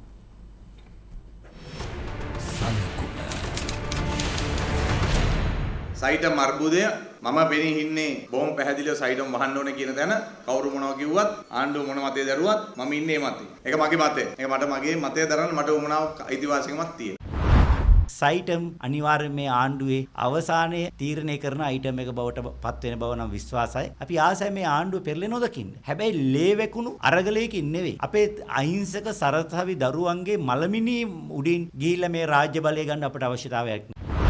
නැපෝලියන් බොනපාට් ලෝකෙ අල්ලන්න දැඟලුවට නැපෝලියන් බොනපාට් වැටුනේ වෝටලූ සටනින්. ඒ වගේම තමයි මේ ආණ්ඩුවේ අවසානය පටන් ගන්නේ සයිටම් අරගලේ නිසාම තමයි. ඇමතිවරුන්ගේ තියෙන හිතුවක්කාරකමට අද තමුන්නාන්සලා ආණ්ඩුව ඇතුලේ ප්‍රශ්න හදාගෙන තියෙන මේ ප්‍රශ්න නිසා. විපක්ෂය අපි ඔක්කොම විවිධ දේශපාලන මති මතාන්තර තියෙන පුළුවන් වෙනස්කම් හැබැයි ඔක්කොම එකතු වෙනවා. මොකද ඒ තරම් හිතුවක්කාර ඒකාධිපති උද්දච්ච මානසිකත්වයක් තියෙනවා. ආණ්ඩුවේ ඉන්න කිහිප දෙනෙක් හිතාගෙන ඉන්න ඒගොල්ලෝ තමයි මුළු ආණ්ඩුවම කියලා. යකඩ පුළු අරගෙන ගියේ නෑ. හැබැයි මතක තියාගන්න යකඩ පුළු අරගෙන දවස වැඩි ඈතක නෙමෙයි. සයිටම් ආණ්ඩුව අවසානය අයිටම් එක වෙයි කියලක තැනක කියනවා මේ වෝටලූ සටන වගේ වෙලා ආණ්ඩුව අවසානය ක්‍රියාත්මක වෙයි හැබැයි හඳුන් නැති මහතා කියනවා ආණ්ඩුව ඇතැම් උද්දච්ච ඇමතිවරුන්ගේ ප්‍රකාශ නිසා තමයි මේ ප්‍රශ්න දුරද ගැන්න කියලා. ඔබ මංහිතැන් අවසානයට අහන්න ඉතුරු කරලා තිබුණේ මට ඉතාමත්ම වෙහෙසකර ප්‍රශ්නයක්කට උත්තරේ දෙන්න. ඇතට මේ ගැන සෑහෙන් හතිවැටලින්න අපිත් කතා කරා සාකච්ඡා කරා කොහෙන්ද මේක කෙලවර කරගන්නට ඕන කියලා. මේක දෙදා සිකුලහි අනුමත කරපු රජය අනුමත කරපු මේ විශ්වවිද්‍යාලයක්. ඒ ඒවට අවශ්‍ය පාසුකං දීලා එතකොට එයා සමගාමීව කොතලාවල විශ්වවිද්‍යාලයේ වෛද්‍ය මේ පීටයක් ආරම්භ කරලා තියෙනවා. එතකොට හිටපු රාජ්‍ය පාලකව මේට ශිෂ්‍යත්ව පවාරන්දීල තියෙනව ළමයින්ට ඉතින් මට තියෙන ප්‍රශ්නේ සයිටම් එක ගැනවත් නිවිල් ප්‍රනෑන්දු වෛද්‍ය නිල් ප්‍රනෑන්දු රෝල ගැනවත් නෙවෙයි ඇත්තටම. මමත් ඔය සාකච්ඡාවට ගණනාවකට මේ සහභාගි වුණා. මංකු අපි කවුරුත් මධ්‍යස්ථ තැනකට ඇවිල්ලා සාධාරණව මේක අපි හොඳයි අපි උපකල්පනය කරමු මේ සිරිසියක් වැරදිී කියලා. අපි හොඳයි තීරණය කරමු අනාගතය මේවා තියන් මේ ආරම්භ කරන්නේ නෑ කියලා. ඒත් හරි මං වෛද්‍ය සංගමයනුත් බොහම කාරුණික විල්ලු අප අන්තවාදී වනේ මංකවා ඒගොල්ලන්ගේ හෘද සාක්ෂියට එකඟව නොමග යෑමක් නිසා හෝ නොතේරණකමට නිසා හෝ ළමයි මංහිතන දාහකට වැඩි ප්‍රමාණයක් අවුරුදු දෙක තුන හතර පහ අය මේක ඉගෙනගෙන තියෙනවා. සමහර දෙමපියට තිබිලනෙවේ තියෙන ගේදුර උගස් කියලා විකුණල නය වෙලා එය කරලා තියෙන්නේ. ඉදේක නිසා අඩුගාන අපි අනිත්තුයි කියන යෝජන ඔක්කොටම එකඟ වෙන්නම්. කරුණා කරලා ඔබලම යෝජනා කරන්න මේ ළමේ දරුවන්ගේ මේත් ඔබලා වගේ මේ රටේ පුරවැසි දරුවනේ මේ දරුවන්ගේ ඒ ඉගෙනගත්ත දේට සාධාරණයක් කරන්න යම් සුදුසුකමත් දෙන්න කොහොම දෙකුලන්න මේ වෛද්‍ය වෘතය ඉදිරි කටයුතු ටික අවසං කරගන්න ඒකට උත්තරයක් දෙන්න කියලා. ති මට තාමත් තේරුම් ගන්න බැරික තමයි වෛද්‍ය සංගමය ඔය මානව හිතවාදී සස්ම වෘතිය විදියට අපි සැලකුවට රටේ ජනතාව සැලකුවට ඒ උදවිය රටේ ජනතාවට මිනිස්සුන්ට එහෙම සලකනවද කියලා ලොකූ ප්‍රශ්නයක් තියෙනවා. දැන් ඒගොල්ල කියන්නේ මේ ළමයි ටික ඔක්කෝම අයින් කරල ලෝල දාන්න. එගලට මොකුත් පිළිගැනීමත් දෙන්න එපා කියලා. ඉති දැම් මෙතන ඇතරම මේ ආණ්ඩුවට මේ ලොකු ප්‍රශ්නයක් අපිට. ඉදිරියට මොකක්ද කරන්න කියන කාරණය පිළිබඳ අපිටත් තියෙන උබතෝකෝටික ප්‍රශ්නයක්. සමරලාට අදැවිල්ල සාකච්ඡා කරලා එක දෙකට එකක වෙලා ගියාම අප හෙට දවසික නොනෑක තම නිසක් නොන එකලට පස ස්ට්‍රයික් කරන්න පට ඇමත්තුමන දෙන්න ඔබ ජියමක් ගැන කතා කරන ඔවුන් එක මතයකින්නවා වෙනස් නොකරන මතෙක් කියල. ඒ වගේම මේට වගකිවයුතු අමාත්‍යවරුණුත් වෙනස් නොවෙන මතවල ඉන්න මේ දෙක හැප්පීම නේද මේ ප්‍රශ්න මිච්චර දුරයන්ට හේතුව? එහෙම අදහසක් තමයි අපි සුනිල්ලඳුන් ඇති මන්ත්‍රතුමා සඳහන් කරේ. නමුත් අපි ඒ ඇමතිවරු දෙපලට උඩින් අතිගරු ජනාධිපතතුමාගේ නායකත්වයෙන් සාකච්ඡාවට ගණනාවත්තිවා එතෙන්දි ඉතාමත්ම මධ්‍යස්ථක විදියට තමයි ජනාධිපතිතුමා මේ පිළිබඳව සාකච්ඡා කරේ තීන්දු තිරණ ගත්තේ. අනිත් එක එතුමට මේ විෂය පිළිබඳව ගැඹුරු දැනීමක් තියෙන මොකද ඔය කාලසීම අදාළ සියලුම කාලසීමාවේ එතුම තමයි මේ අපේ රටේ සෞඛ්‍ය ඇමතිතුමා. ඉතින් මේ පිළිබඳ හොඳ අවබෝධයක් තියෙන නමුත් අවාසනාවන්ත දේ තමයි ඇයි මේ ගැටුම මේ කවුරු වෙනුවෙන්ද මේ ගැටෙන්න උද්ඝෝෂණ කරන පන්ති නොවන දරුවොත් අපේ රටේ වෛද්‍ය ශිෂ්‍ය දරු අර ඉගෙන ඇත්තෙත් දැන් යන නමන් නැති වෙලා අතරමං කරන්නයි කියලා කියන දරුවොත් අපේ රටේ දරුවෝ ඇති මම මටත් මේක තේර නැති උබතෝ කොටික ප්‍රශ්නයක් තමයි කොහිද විසඳ ගන්න කියලා. දැන් ඊය දිනේදී ජනාධිපත්තුමා මේකටුවෙන් තීරණයක් අරගෙන ප්‍රකාශයට පත් කර ඇතින් අපි දන්න ඉදිරියේදී ඒකටත් කොහොම ප්‍රතිචාර දක්වයිද කියලා. ඇමුතුමනි ඒ ප්‍රකාශවලට ඔවුන් ජනතිපුත්තමාසක සමග කරන සාකච්ඡාව වර්ජනය අත්හැරීම මේවාට ඇමතිවරුන් ප්‍රතිචාර දක්වන ඔවුන් කියනවා අ, කරන්න ගිය දෙනීමේ මේකයි කියලා මේ- මේ මේ ගට්ටනය මේක දැන් මේ කියනක ඔබත් ඔබත් තාම ඉන්නේ මේකට විසඳුමක් කොහෙද තියෙන හිතාගන්න බෑ කියන තැන ඒ කියන අර කියපු කාරණ සත්‍යයක් වෙනවා කියන එක නෑ එහෙමනේ මම කියන්නේ ඇත්තටම දැන් සුදේ ඔබට වුණත් දැන් මම ඔය කියපු වාතාවරණය තුල මොකක්ද කරන්න ඕනේ කියලා කොහොමද තීරණයක් ගන්න. දැන් වෛද්‍යවරු ශිෂ්‍යයෝ ඔක්කොම කියනවා නම් අර ශිෂ්‍යයෝ 1000ක්ද මන් දන්නේ නැහැ සංඛ්‍යාව. ඒ සමහර අය අවුරුදු 6ක් නැත්නම් 7ක් ඉගෙනගෙන උපාධිය අවසන් කරපු අය. ඒගොල්ලන්ට සහතිකයක් එකක් දෙන්න දැන් තහනම් කරන තත්වයකට අවිල්ලා තියෙනවා. ඉතින් ඒ දරුවන්ට යුක්තිය ඊටු කිරීමේ වගකීමක් රජයකට නැද්ද? ලෝකේ ඕනම රටක ආණ්ඩු ක්‍රම ව්‍යවස්ථාව තුළ තියෙනවා මේ නීතිමය තත්ත්වයක් මේ ලෙජිටිමේට් එක්ස්පෙක්ටේෂන් කියල කැන්නේ නීතිය මගින් බලාපොරොත්තු වෙන දෙයක් අ, රාජ්‍යයක් මගින් ලබාදීල තිබුණත් ඒ අහිමි කරන්න බෑ කියලා ඒ- උදවියට ඉතින් දැන් අවුරුදු හතටත් තිස්සේ කවුරුත් උද්ඝෝෂණ කරන්නෙත් නැතු විරෝධ දක්වන්නෙත් නැතුව රාජ්‍ය රාජ්‍ය රාජ්‍ය නායකයා පවා ශිෂ්‍යත්ව ලබා දෙමින් ඇතුල් කරලා විශ්වවිද්‍යාලය පවත්තගෙනලා එක වියදන් මුදල් වියදන් කරලා ඉගෙනගත්ත දරුවන්ට දෙමවපියන්ට ඇති නීති අනුකුල බලාපොරොත්තු තියෙනවා ඔබ ගැන ඒ අයට යම් සාධාරණයක් ඉටුවේ යුතුයි. මම කියන්නේ මගේ සමස්තයට. සා දැඩිව මම කියනවා මං හැමදාම කිව්වේ ඒ දරුවන්ට අසාධාරණයක් වෙන්න දෙන්න බෑ. හොඳයි ඇමතුමනි අවසාන වශයෙන් ඔබෙන් අනිත්‍යව ප්‍රශ්න. රාජ්‍ය ප්‍රතිපත්ති අනුව හරි රටේ තියෙන මේ උද්ඝෝෂණ තත්ත්වය අනුව නම්යශීලි වෙලා විසඳගත්තට ඒක විසඳගත්තට මගේ කිසි ප්‍රශ්නයක් නැහැ. හැබැයි වගේම නම්යශීලි වෙන්න ඕනේ ඒ- දරුවෝ ඒ දරුවන්ගේ අනාගතය ගැන ඒ පවුල් අද මේ සමහර ඇඳු කඳුලින් ඒ පවුල්වල සියලු දෙනා ජීවත් වෙන්නේ. ඇමතුමනි අවසාන- තත්ත්වයට තල්ලු කරන්නේ? ඔව්, අවසාන ප්‍රශ්නය මට අහන්න ඉඩ දෙන්න සමුතිවාදී ආණ්ඩුවේ කාලය පළමු වසරු තුන සැප්තමර් වගේ වෙනකොට ඉවර වෙලා නැවතත් දැන් ගියවසුම දික් කරනවද ඉස්සරහට යනවද කියලා දෙපැත්තේ ප්‍රශ්න කෙරමින් පවතිනවා කමිටු පත් කරලා තිබෙනවා සාකච්ඡා කරනවා. මොකක් වෙයිද? මං හිතනවා මේ ඉදිරි අවුරුදු තුනේ යන්න එකඟ වෙයි. මේ වගේම යන්නද?